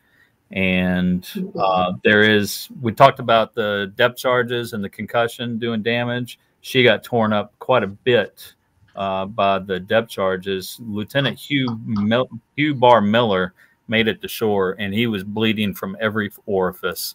Uh, he told his shipmates leave him for dead, and nobody ever saw those four or five guys again, if I understand the story correctly. Hugh actually lived, and being an officer of the United States Navy, took the battle to the Japanese on the island in a guerrilla war for 37, 38 days, something like that, 39 days. Um, there's a book called The Castaways War that talks about him, and they're actually talking about making it for a movie. Hmm. But uh, yeah, that's that's the strong. Is this also of the strong? No, this is different. That's the De Haven. That was the very first uh, Fletcher sunk, um, and It Ballard almost looks- found her. It almost looks like the Kidd at night. We're not that corroded on the bottom. yeah, but you can, this the struts are clearly visible there. Yeah, the shaft. I mean, No, Yeah. um, yeah. I, th- another word about the depth charges. Um, you know, these Fletchers were anti primarily anti submarine vessels, even though as, uh, as as destroyers developed into World War II, destroyers like Fletchers were multi capable, uh, anti air, anti sub, and even anti surface to a certain extent. But be, being primarily an anti submarine vessel, they carried a number of depth charges aboard. And the crew was very well aware, after a few early examples uh, during the war, of the danger that those depth charges uh, posed to the, their own crew if the ship went under. Uh, during the, you know, reading through the eyewitness testimony board Johnston, there's more than one crewman that um, remarked on uh, that they, they were in, either in a damage control team or they just were paying attention at the time that uh, great attention was made to safe all of the depth charges on board as they knew Johnston probably was going to be going under. And it was one of their priorities um, to to make sure that those depth charges were safe so that they wouldn't get blown up by their own depth charges in the water. For Johnston, they were um, they they jettisoned all of the depth charges in the racks, and this is while Johnston's being pounded on by other surface ships. There's guys back there on the fantail releasing the depth charges. And one of the depth charge racks got stuck, and they had to have a few men work on on uh, freeing up that depth charge so the rest of the track could be cleared. But they could do they couldn't do anything with the um, depth charges in the storage racks on the fantail or in the K guns. Uh, I don't have any indication that the that if if there were depth charges actually loaded into the K gun that they were fired. My suspicion is that there were none. Well, no, I take that back. If uh, General Quarters, she would have had them. So I, I, I don't know the condition of the K gun ones, but um, like I said on Samuel B. Roberts, we would see um, we would see depth charges still stuck in those K gun racks. mm-hmm. So I just wanted to bring that up about depth charges. That was a bit- that was a one of the Fletcher's uh, most potent offensive weapons, but it also was the most dangerous weapon when the ship started to go down. Well, and, and talking about that, wasn't it? Um, wasn't the guy's uh, name that gave the testimony for that? Wasn't his last name Hagen? Well, um, Lieutenant Robert Hagen was the ship's gunnery officer, and he was also the senior surviving officer. So he wrote the after action report for Johnston. Okay. Um, he he was up in the gun director as the gunnery officer. He was in the in the Mark 37 gun director that sits on top of the pilot house, and that gun director directs the fire of the five five inch guns on the Fletcher, either in all guns mode or in local control. Uh, so he obviously could not see everything going on the ship. Uh, I imagine his discussion about the depth charges, even though the, as a gunnery officer, they were under his purview, he evidently interviewed other survivors of Johnston in order to bring it together in the after action report. And then, um, Tim, didn't you say that one of the ships that went down, one of the Fletchers that went down, wasn't it called the Hagen? No, D Haven, D E, and then H My A V E. apologies. Okay, all right. I, I misheard. It sounds you. similar when you say it fast. Yeah. Um, all Especially right. with that Minnesota accent. I don't have a Minnesota. Now, you might uh, you might have heard me talk about Hagen. Uh, Robert Hagen's son, Rob Hagen, is a good friend of mine here in Baton Rouge, as it would turn out. oh yeah. And uh, and for those of you who know Louisiana culture, he's going to be the king of Spanish Town uh, this coming year. Wow. So you know the king. I know the king. All right. Uh here, let's let's pull up this question or this uh this photo here. Um would this I- also be the strong? Uh yeah, I believe that's the strong. And actually, I owe an apology to everybody because the very colorful uh, wreckage photos that were earlier, I misidentified that as strong. That was actually the part of the uh, the uh, stern wreckage. Yeah, that that's actually part of the stern wreckage of the Admiral Reed up in Alaska, where she had her stern blown off. Oh, okay. Okay. And that was the uh, uh that was the RV Petrel, right? No, that was NOAA. That was NOAA. NOAA. NOAA, All right. yeah, So you're talking about these photos here. All right. yes. And you could That's, just tell uh, the depth. You could just tell the depth because of, as they were mentioning Victor and uh, Parks earlier, you could see the marine growth and the marine life because that I don't believe was too deep of a wreck. No, you know what, Shane? That's a really good point. I mean, when you talk about discovering wrecks and you've got the Titanic, you've or, or here, if this is the Abner Read, I mean, Yeah. it's just everywhere. Um, And that's really, really cold water. Shallow water, and yet it's still just whoops. you know this that well Yeah. the the other one you had the DeHaven there. Oh yeah, yeah. Hold on. a DeHaven second. is in the South Pacific. It's at Guadalcanal, but it doesn't have near the growth that you had with the the stern in Alaska. There's a lot of factors that go into marine growth and how it affects a wreck. Uh, it's not just depth or lack of ox- oxygen. Uh, like I mentioned with Titanic, uh, she's at the like the exhaust port of the Gulf Stream, the warm waters of the Gulf Stream. So she's getting all kinds of uh, detritus coming out of the Gulf Stream and a lot of life forms that get deposited over the Titanic wreck. And that's contributed to the growth of life at that wreck site. Uh, you had asked me earlier about the differences uh, between 2005, the first time I dived on Titanic, and then 2019.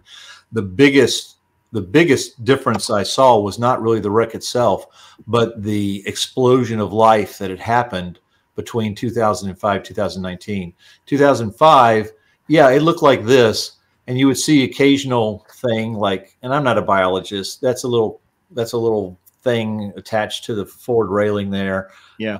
some anemone or something i don't know what you call it Mhm. but you would see something like that in a in a in a and a rat tail fish occasionally, and there's some crabs and uh, some what we call brittle stars, or like starfish, but their legs are really long.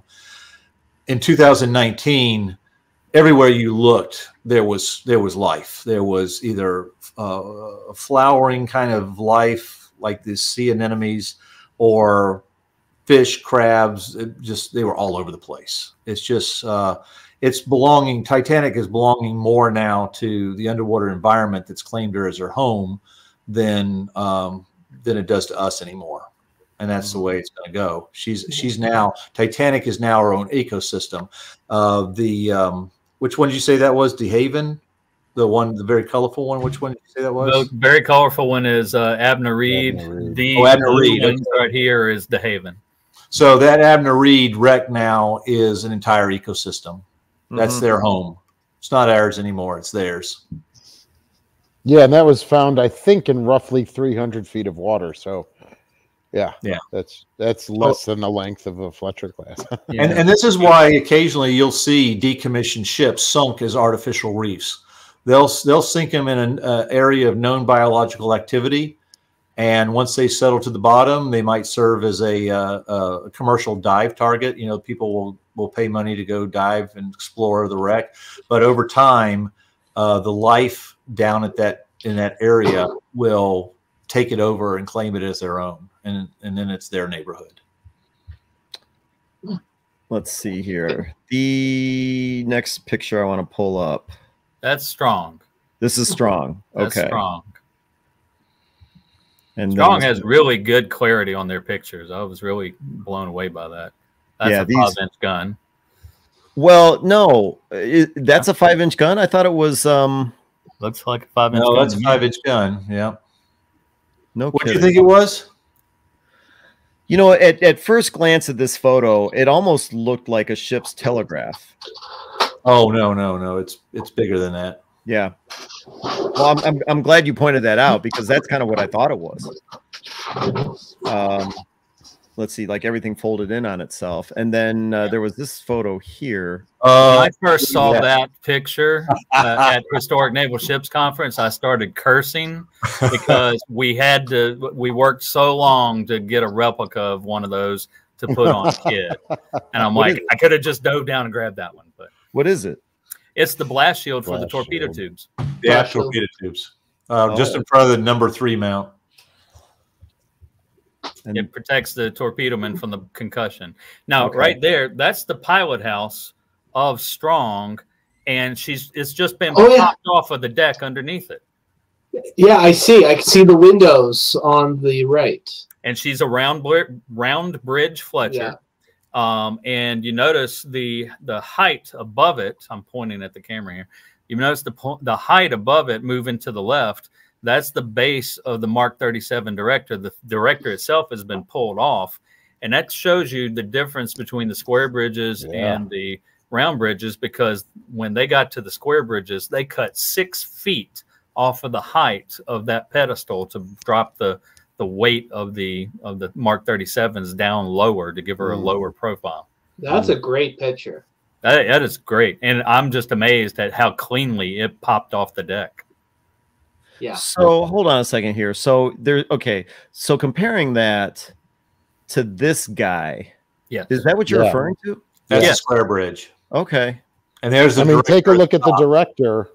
What Tim is talking about is the distance between the top of the bridge, the overhead of the bridge, and Mhm. the base and the mount of the gun director. You can see there, it's it's much shorter. yeah, but two feet or something I like that. And then see it. take a look at that other picture, and you can see how long it is in that. Other. That's fabulous. I'm Yeah. five six. I would never hit my head on that director walking walking around it, but on Kidd, I have to crawl underneath it. hmm Well, that That's Let's see. Fabulous. that was the last of the wreck photos. Um, so I'm glad we had a chance to to cover those. Yeah. Um, all right. And one one one more observation for for some of these that just you couldn't sink them. Chevalier broke uh Chevalier broke in half. She had or she had her bow blown off and then uh it floated away and uh O'Bannon rammed into her uh, on the starboard side because the the blunt front end of the hull dug into the water and she kind of swerved over to the side and then O'Bannon just T-boned her. Uh, that stayed afloat, and they had to torpedo one piece of it and then sink the other one with depth charges. She just would not die, even though she's bisected. Um, but you get to another one, uh, and from the moment she took her first kamikaze to the moment she went under, 12 minutes, she's gone. Mhm. So I mean, they if they got enough of a beating, they'd go down fast. But some of them just would not die. They were that well put together. Mhm. Well, and, and it depended on what happened too. Secondary explosions, you know, you Yeah. blow a boiler, um, things like that, or if the kamikaze's bomb goes off or doesn't go off, is a lot of variables. There, a bomb went off. Yeah. That's Longshaw. She she took a hit to the forward magazine, blew the front of the ship off, and just secondary fires. She's just burning constantly all the way down the length of her. Is um let's see here. Is that That's Longshaw as well. Wow. That's just amazing. And people actually survived this. That's what's amazing to me about it. And Not only the the blast didn't shield. want to die, but the people survived this craziness. Oh, oh, this so the cylindrical thing in front of that gun mount uh, aft of the funnel is the blast shield you're talking about. That's the Yes. blast shield, right? Okay. You got a uh, you got a dead sailor top right. Yep. Trapped in the wreckage. Oh, Oh, see that. Like- oh, oh. yep. Yeah, Hmm. I like. What do we got here? Uh, that I believe is Longshaw as well. Um, and it's taken from the Essex, and that's the Hornet in the background. Okay. Actually, no, I take it. Yeah, that is Longshaw. Yeah.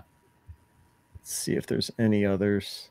Oh, wow. Okay, here. Wait, let's see if I can let's see. Number 21. Where is that? Um so when you talk about air battles, um, I've seen this photo before. I can't remember how, but you know, all the anti-aircraft, Yeah, you know, fire. I I'm, I'm sure you probably don't know what Fletcher this was. That was I don't remember which one it is, but Yeah, uh, the plume, shot. the black plume, is her uh, detonating. hmm Yeah, yeah. Oh man, it's on the tip of my tongue. Oh yeah. St. Lo? No, no, it's it's a destroyer. No, it's a destroyer. Is it That's a Brownson? destroyer blowing up? Yeah, yeah, there were two explosions. This is the second one. Like 15 minutes after the first one. Oh man. Is it Brownson? You think? Hang on. DD 518? Maybe. Yep, that's Brownson. Okay. DD 518. Yeah, so there were two explosions. A minor one. This is the one that actually, I, th- I think, if I remember right, sanker. Obviously. Let's see here. Um, And we're not going to have a picture of this, Into but um, here's the here's the Brownson right there. That's 518. okay. Yeah. Yeah. So the, at the same time that uh, in the same battle where Johnston was uh, sunk, her sister ship Hoel, H O E L, was also sunk. And um, when I read through her um, survivor testimony, I'm expecting that wreck to be especially ugly. Um, she Mhm. not only took um, took shells that took out her Mount 54, Mount 55. Um, there's reason to believe that her entire number three mount was blown clear off the ship before she uh, went under. Yeah. Um, uh, Commander Copeland, Lieutenant Commander Copeland, the skipper of the Sammy B. Roberts, gave a very detailed uh, interview in the 1950s about the battle. And toward the end, he saw what he thinks is Johnston. But I've come to believe in in uh, as I read through it over and over again, I think that um, Copeland saw both Hoel and Johnston and conflated the two because the damage he described the Johnston as Johnston seems to correlate more with the Hoel. More specific, most specifically, he said that the number three mount was completely gone. Yeah, we did find the number three mount with Johnston in the debris field, along with the num- with the number four mount. So um, Copeland's description of the number three mount being gone on Johnston as she passed by doesn't really square. Also talks about the mast being bent uh, and hanging down, but we know from Johnston, um, and even though even though we found the mast of Johnston in the debris field bent like Copeland described, we also have uh, word from Lieutenant Hagen in his after action report that the surface search radar uh, stayed uh, stayed operable to the very end, which wouldn't happen if the mast were down, like uh, like Copeland described. So I'm expecting that when we do find Hoel, that um, she's going to be a really messed up uh, wreck, even if she didn't have depth charge explosions like Johnston did. Uh, we're going to see the ferocity of the battle, and, and just as an aside, where I have her predicted, she's down in the trench.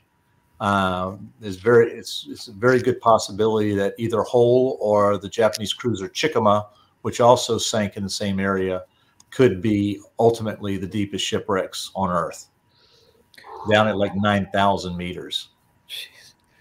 Wasn't there a, a destroyer, not the Hoel, not the Johnson, obviously, but wasn't there a destroyer that was was seen either escaping the battle or leaving the battle and then was never seen again?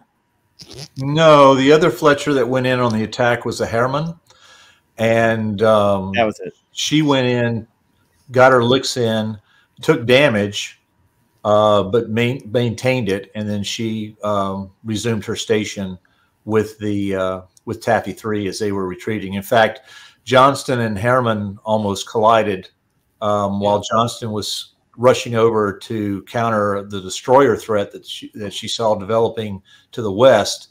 Uh, she ran across uh, Heerman. Uh, you know, and then there's smoke both from the battle and also generated by the smoke generators aboard the uh, the ships to mask the fleet. Um, she came out of the smoke and almost uh, those two almost collided. But Heerman didn't disappear forever. Uh, that crew came home. Okay.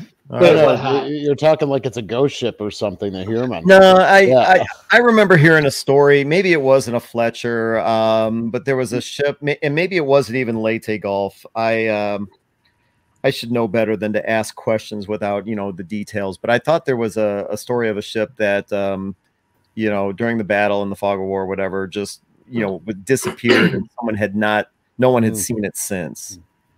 Yeah, I'd Um, never heard that one. Yeah, it would be interesting to, uh, you know, I think Hagen says that they came within 10 feet of each other, the Heerman and the Johnston, you know, in that smoke and that, uh, when they were laying down the smoke. That would be interesting uh, to if that was ever validated within 10 feet of each other. It could be apocryphal, right? But it, it maybe 20 feet or 30 feet, but to come within 10 feet of each other uh, is Actually, yeah, actually, one of my colleagues, uh, Rob Lundgren, uh, before COVID locked down the National Archives, he came across a photo that he didn't understand at the time, but what he's come to believe since. It was a picture taken from the carrier nearby, I believe it was the Kitkun Bay, that took a picture of that near collision of Johnston and Heerman. And there is one photo that I do have that probably is of the same series that just shows the Heerman and Johnston would be out of frame at that point. I desperately want to find that photo. Hmm. It was mislabeled or it was misfiled, I should say. It wasn't in where he expected to find it.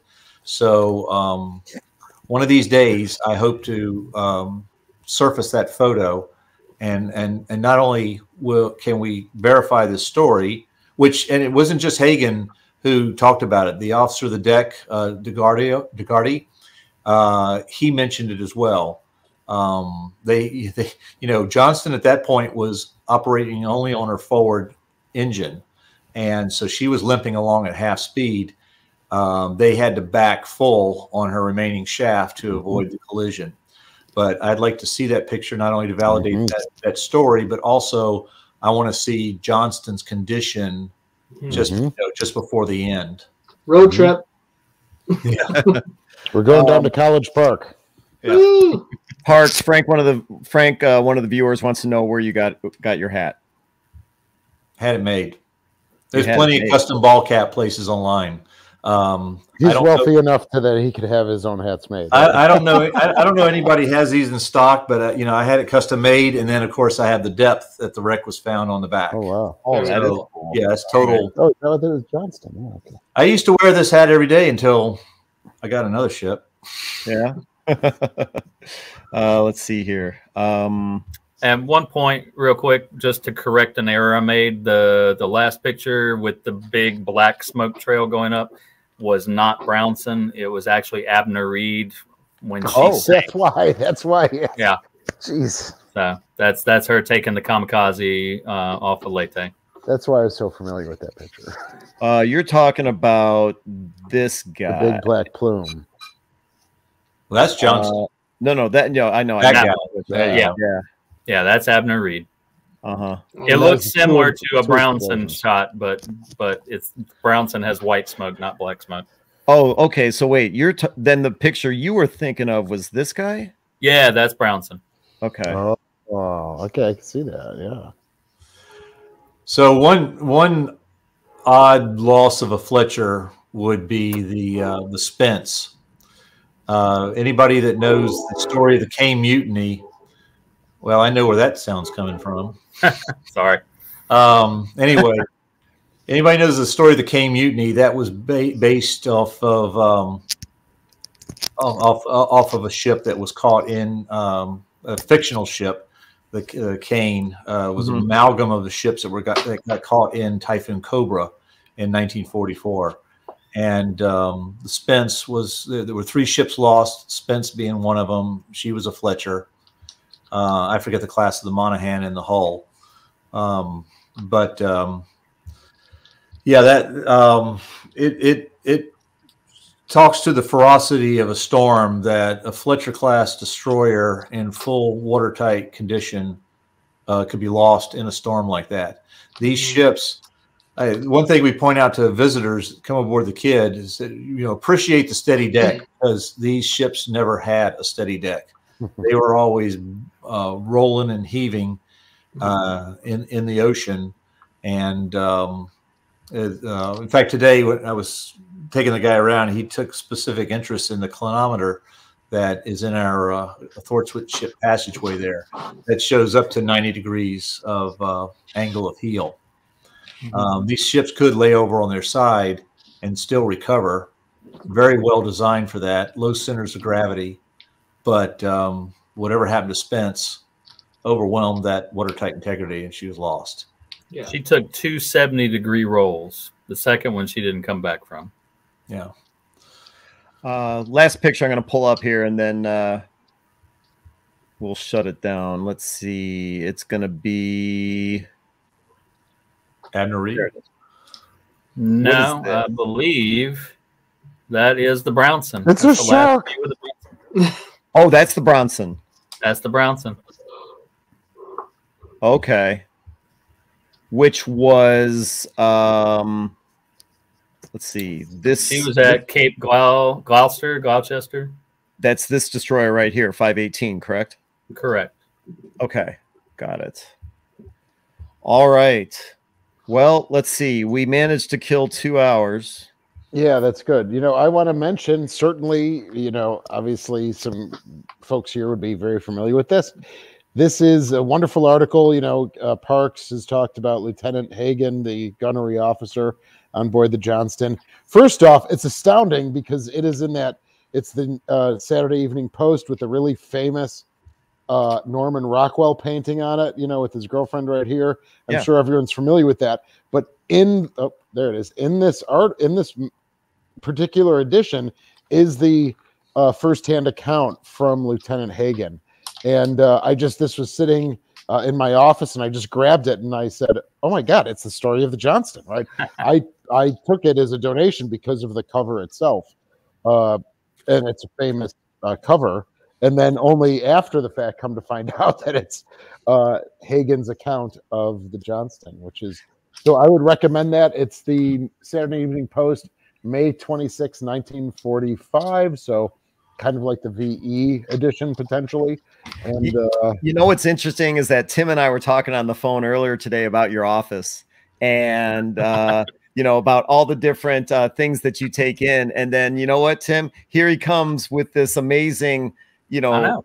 I know it's like I you know know. I can't pick on Shane cuz he's got great you know but No. or yeah so yeah you were being talked about earlier and then uh In a good way. Yeah oh yeah of, of- of course, guys, absolutely. No Yeah. doubt No, it. your my office looked much like your office until recently. So Ah, very good. Yes. Yeah. And you have So, to be Ken, conscious um, about it. You have to be conscious about it.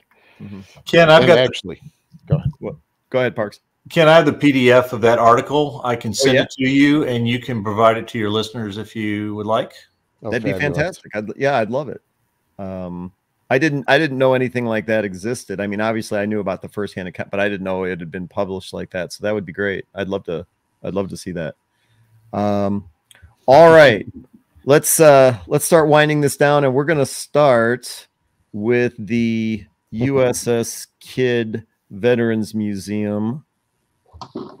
When it comes to all right, Tim Nesmith, Su- Superintendent, USS Kidd.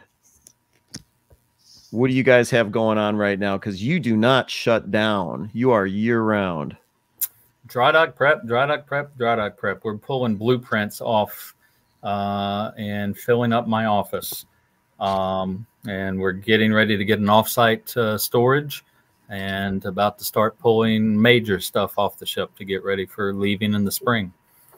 Um, as far as events, uh, December 7th is our next big event. Um, and uh, we'll have a memorial service, uh, educational service on board the Fantail, weather permitting, for Rear Admiral Kidd and the 46 Louisianians killed at Pearl Harbor. Um, and also, there's a Coast Guard cutter, um, a little buoy tender, the White Alder, USCGC White Alder, that uh, ironically sank on December 7th in 1968, just downriver from Baton Rouge. Uh, a Taiwanese freighter split her in half in the middle of the night, and she went down, hit the bottom of the Mississippi, and the river immediately started covering her over. So, all but one or two of her crew ended up entombed in the White Alder in the same way that the crew of the Arizona was entombed. So, the Coast Guard comes down every year, joins us, and has a ceremony right after. This year, I think it's going to be right before our uh, Pearl Harbor ceremony. Oh wow. Okay, so you, you guys have a lot going on. Um, let's see, Parks. Uh, anything that you wanted to add about what's what's happening right now, or is all your time consumed with dry dry dock prep? Um, all my time is consumed with trying to figure out what the hell I'm going to do. Uh, nobody's. We, we, we this ship hasn't moved in 40 years. It hasn't had a dry dock since the Navy had it in '62.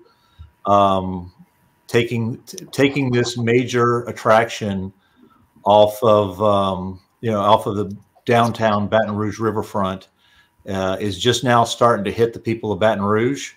Uh, we are going to plan extensive ceremonies. Today, I uh, met with one of uh, uh, the country's premier tiki mug artist to uh, make a commemorative tiki mug of Kidd that will be in two different editions. There'll be the edition when she goes away, and the glaze of the mug will be in her 1945 paint scheme, as you see here. And we are intending to um, sandblast and repaint the ship in dry dock, and we'll have her return in her 1944 uh, dazzle camouflage. And the second edition of the tiki mug that will be sold upon her return will be in that glaze of the dazzle camouflage. So, So so all the paint that uh, that Tim put on uh, a couple of months ago is going to be uh, blasted away. yeah, and it, and it was always intended that way. Um, the paint that we painted it in uh, is not your typical marine grade paint.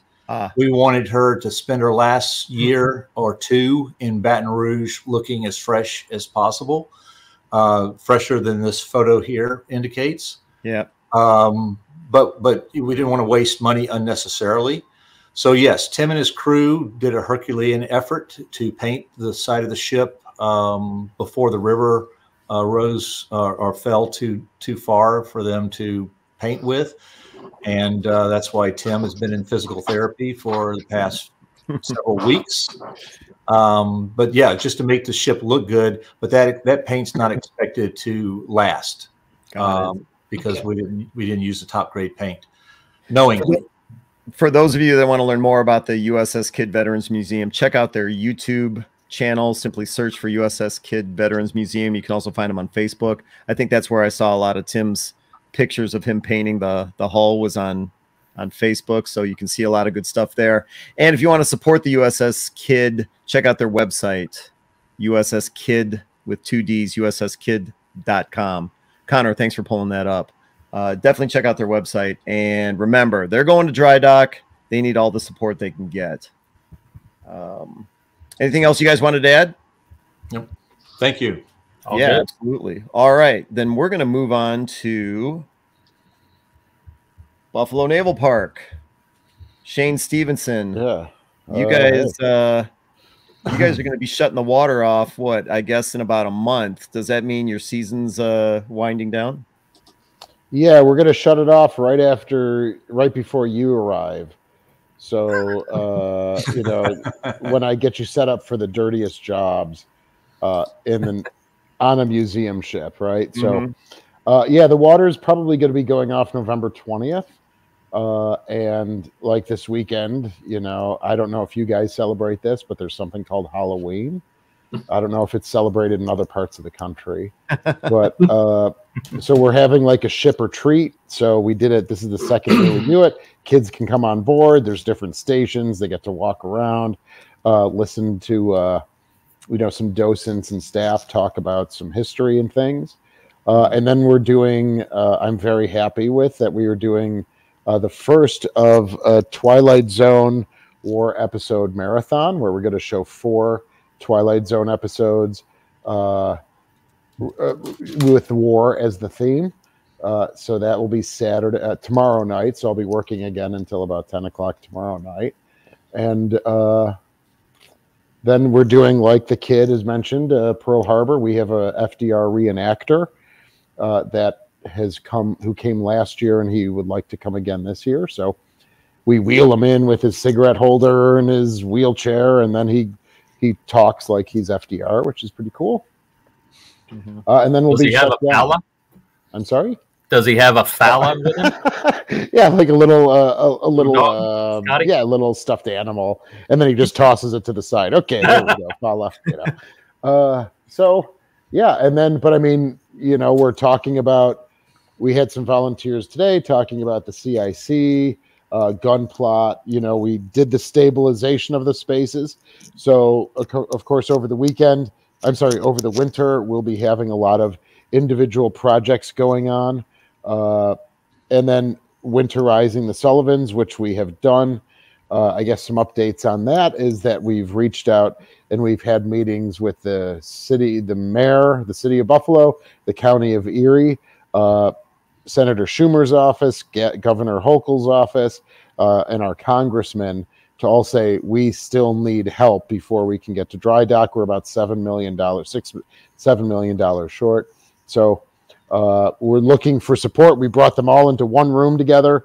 We we told them uh, the story and what it's going to take to uh, get her to dry dock, and uh, hopefully we can keep that team together and working and and pulling different funding streams from uh, different uh, local, state, federal sources. And is there any kind of a date, target date, any kind Well, of anything set that you want to try and make dry dock happen? Yeah, we're looking. Uh, we're trying to shoot by ha- having the money by October. This around this time next year. I see. All right. the goal to have the seven, six, seven million dollars. Well, if anyone out there wants to throw their support behind the Buffalo Naval Park's effort to get the USS the Sullivans into dry dock, definitely check out their Mhm. website, buffalonavalpark.org. You can also find their content on YouTube. Search for Buffalo Naval Park. There you go. Thank you, Connor, for pulling that up. And uh, just as with the uh, Kidd, throw your support behind the effort to get the USS the Sullivans into dry dock. Badly needed repairs. And you are coming up, right, Ken? Come on, Well, we traded text about that, and uh, I uh, I definitely want to. done. Okay, Yeah. good. Are you So- going to do a dirty jobs thing, Ken? Why the hell not? Um, hey, I've got I've got a septic tank that needs to be cut out of the Kidd. You want to do that? Well, We'll th- we'll even pay for you to go do that. Yeah. uh, let's see. Anything else you wanted to add to the uh, Buffalo Nope. Naval Park before we move on to the Slater? All good. All right, then USS Slater in Albany, New York. John Epp, what's going on? Um, few things. Ken, you're driving across New York to see the Slater, right? Is your water still going to be on? Uh, we'll actually probably be shutting it off right around the 20th as well because we have an overnight on the 18th. Oh, okay. So you you, Yeah. you have an overnight right up until the end. Yep. Yeah. Got it. Keep it in mind.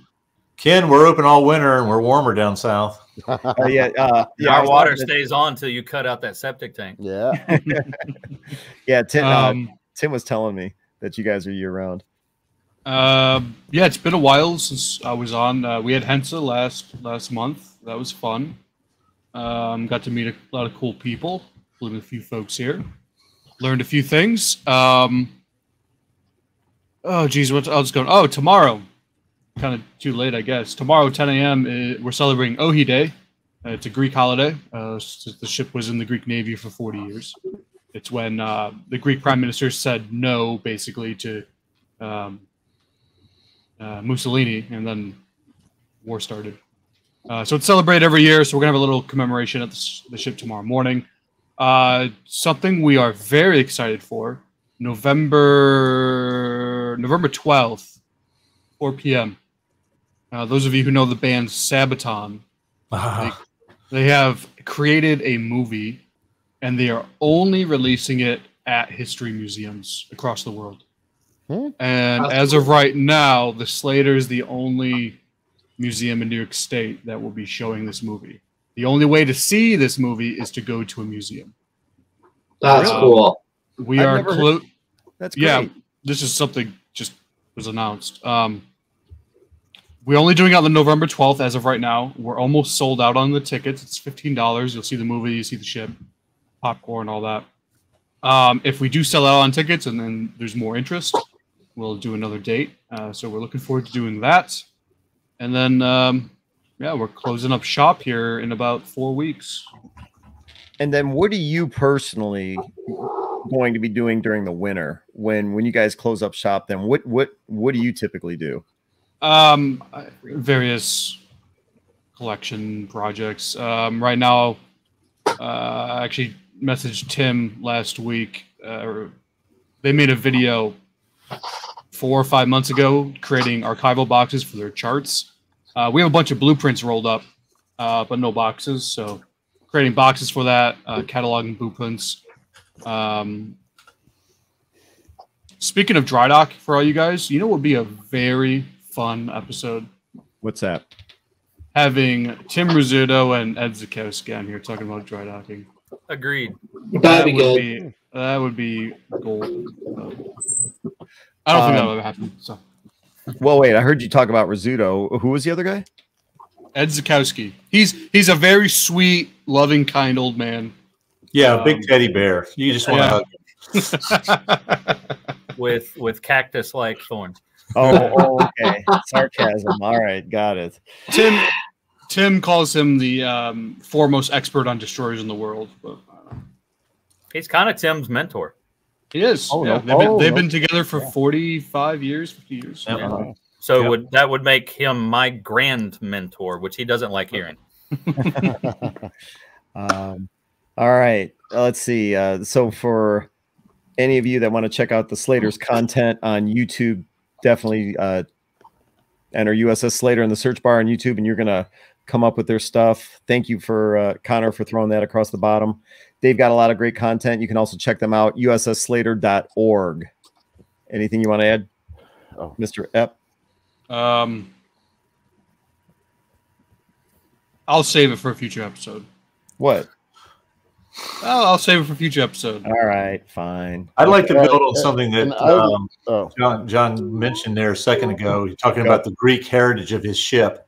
Uh, just very recently, we've had some encouraging news that the Greeks who own the fourth surviving Fletcher, The Velos? Charrette, Velos, might be interested uh, finally here toward the end in participating in our 80th anniversary celebrations.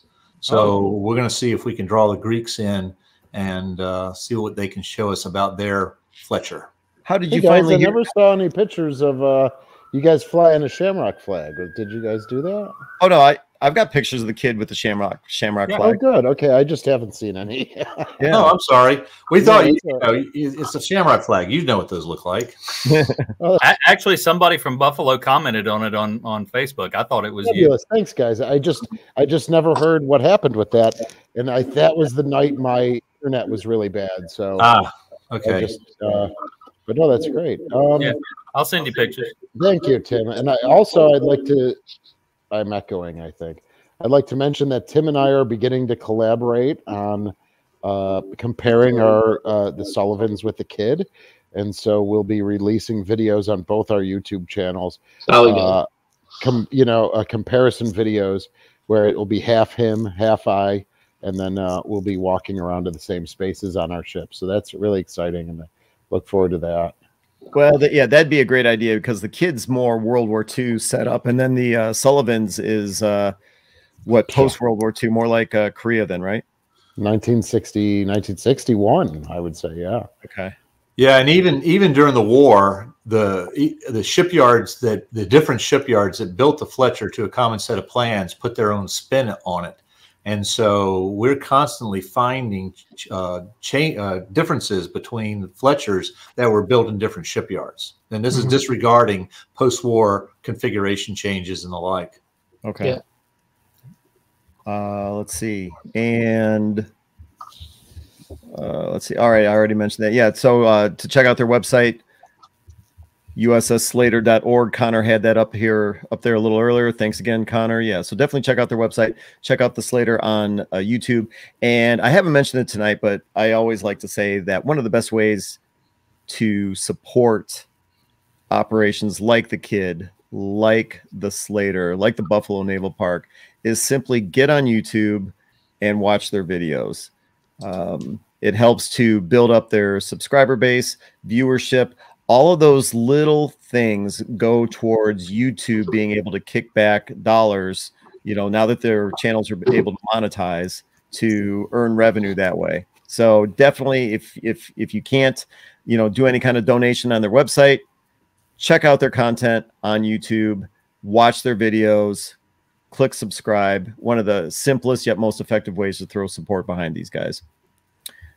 All right, moving on to the Alexander Henry in Thunder Bay.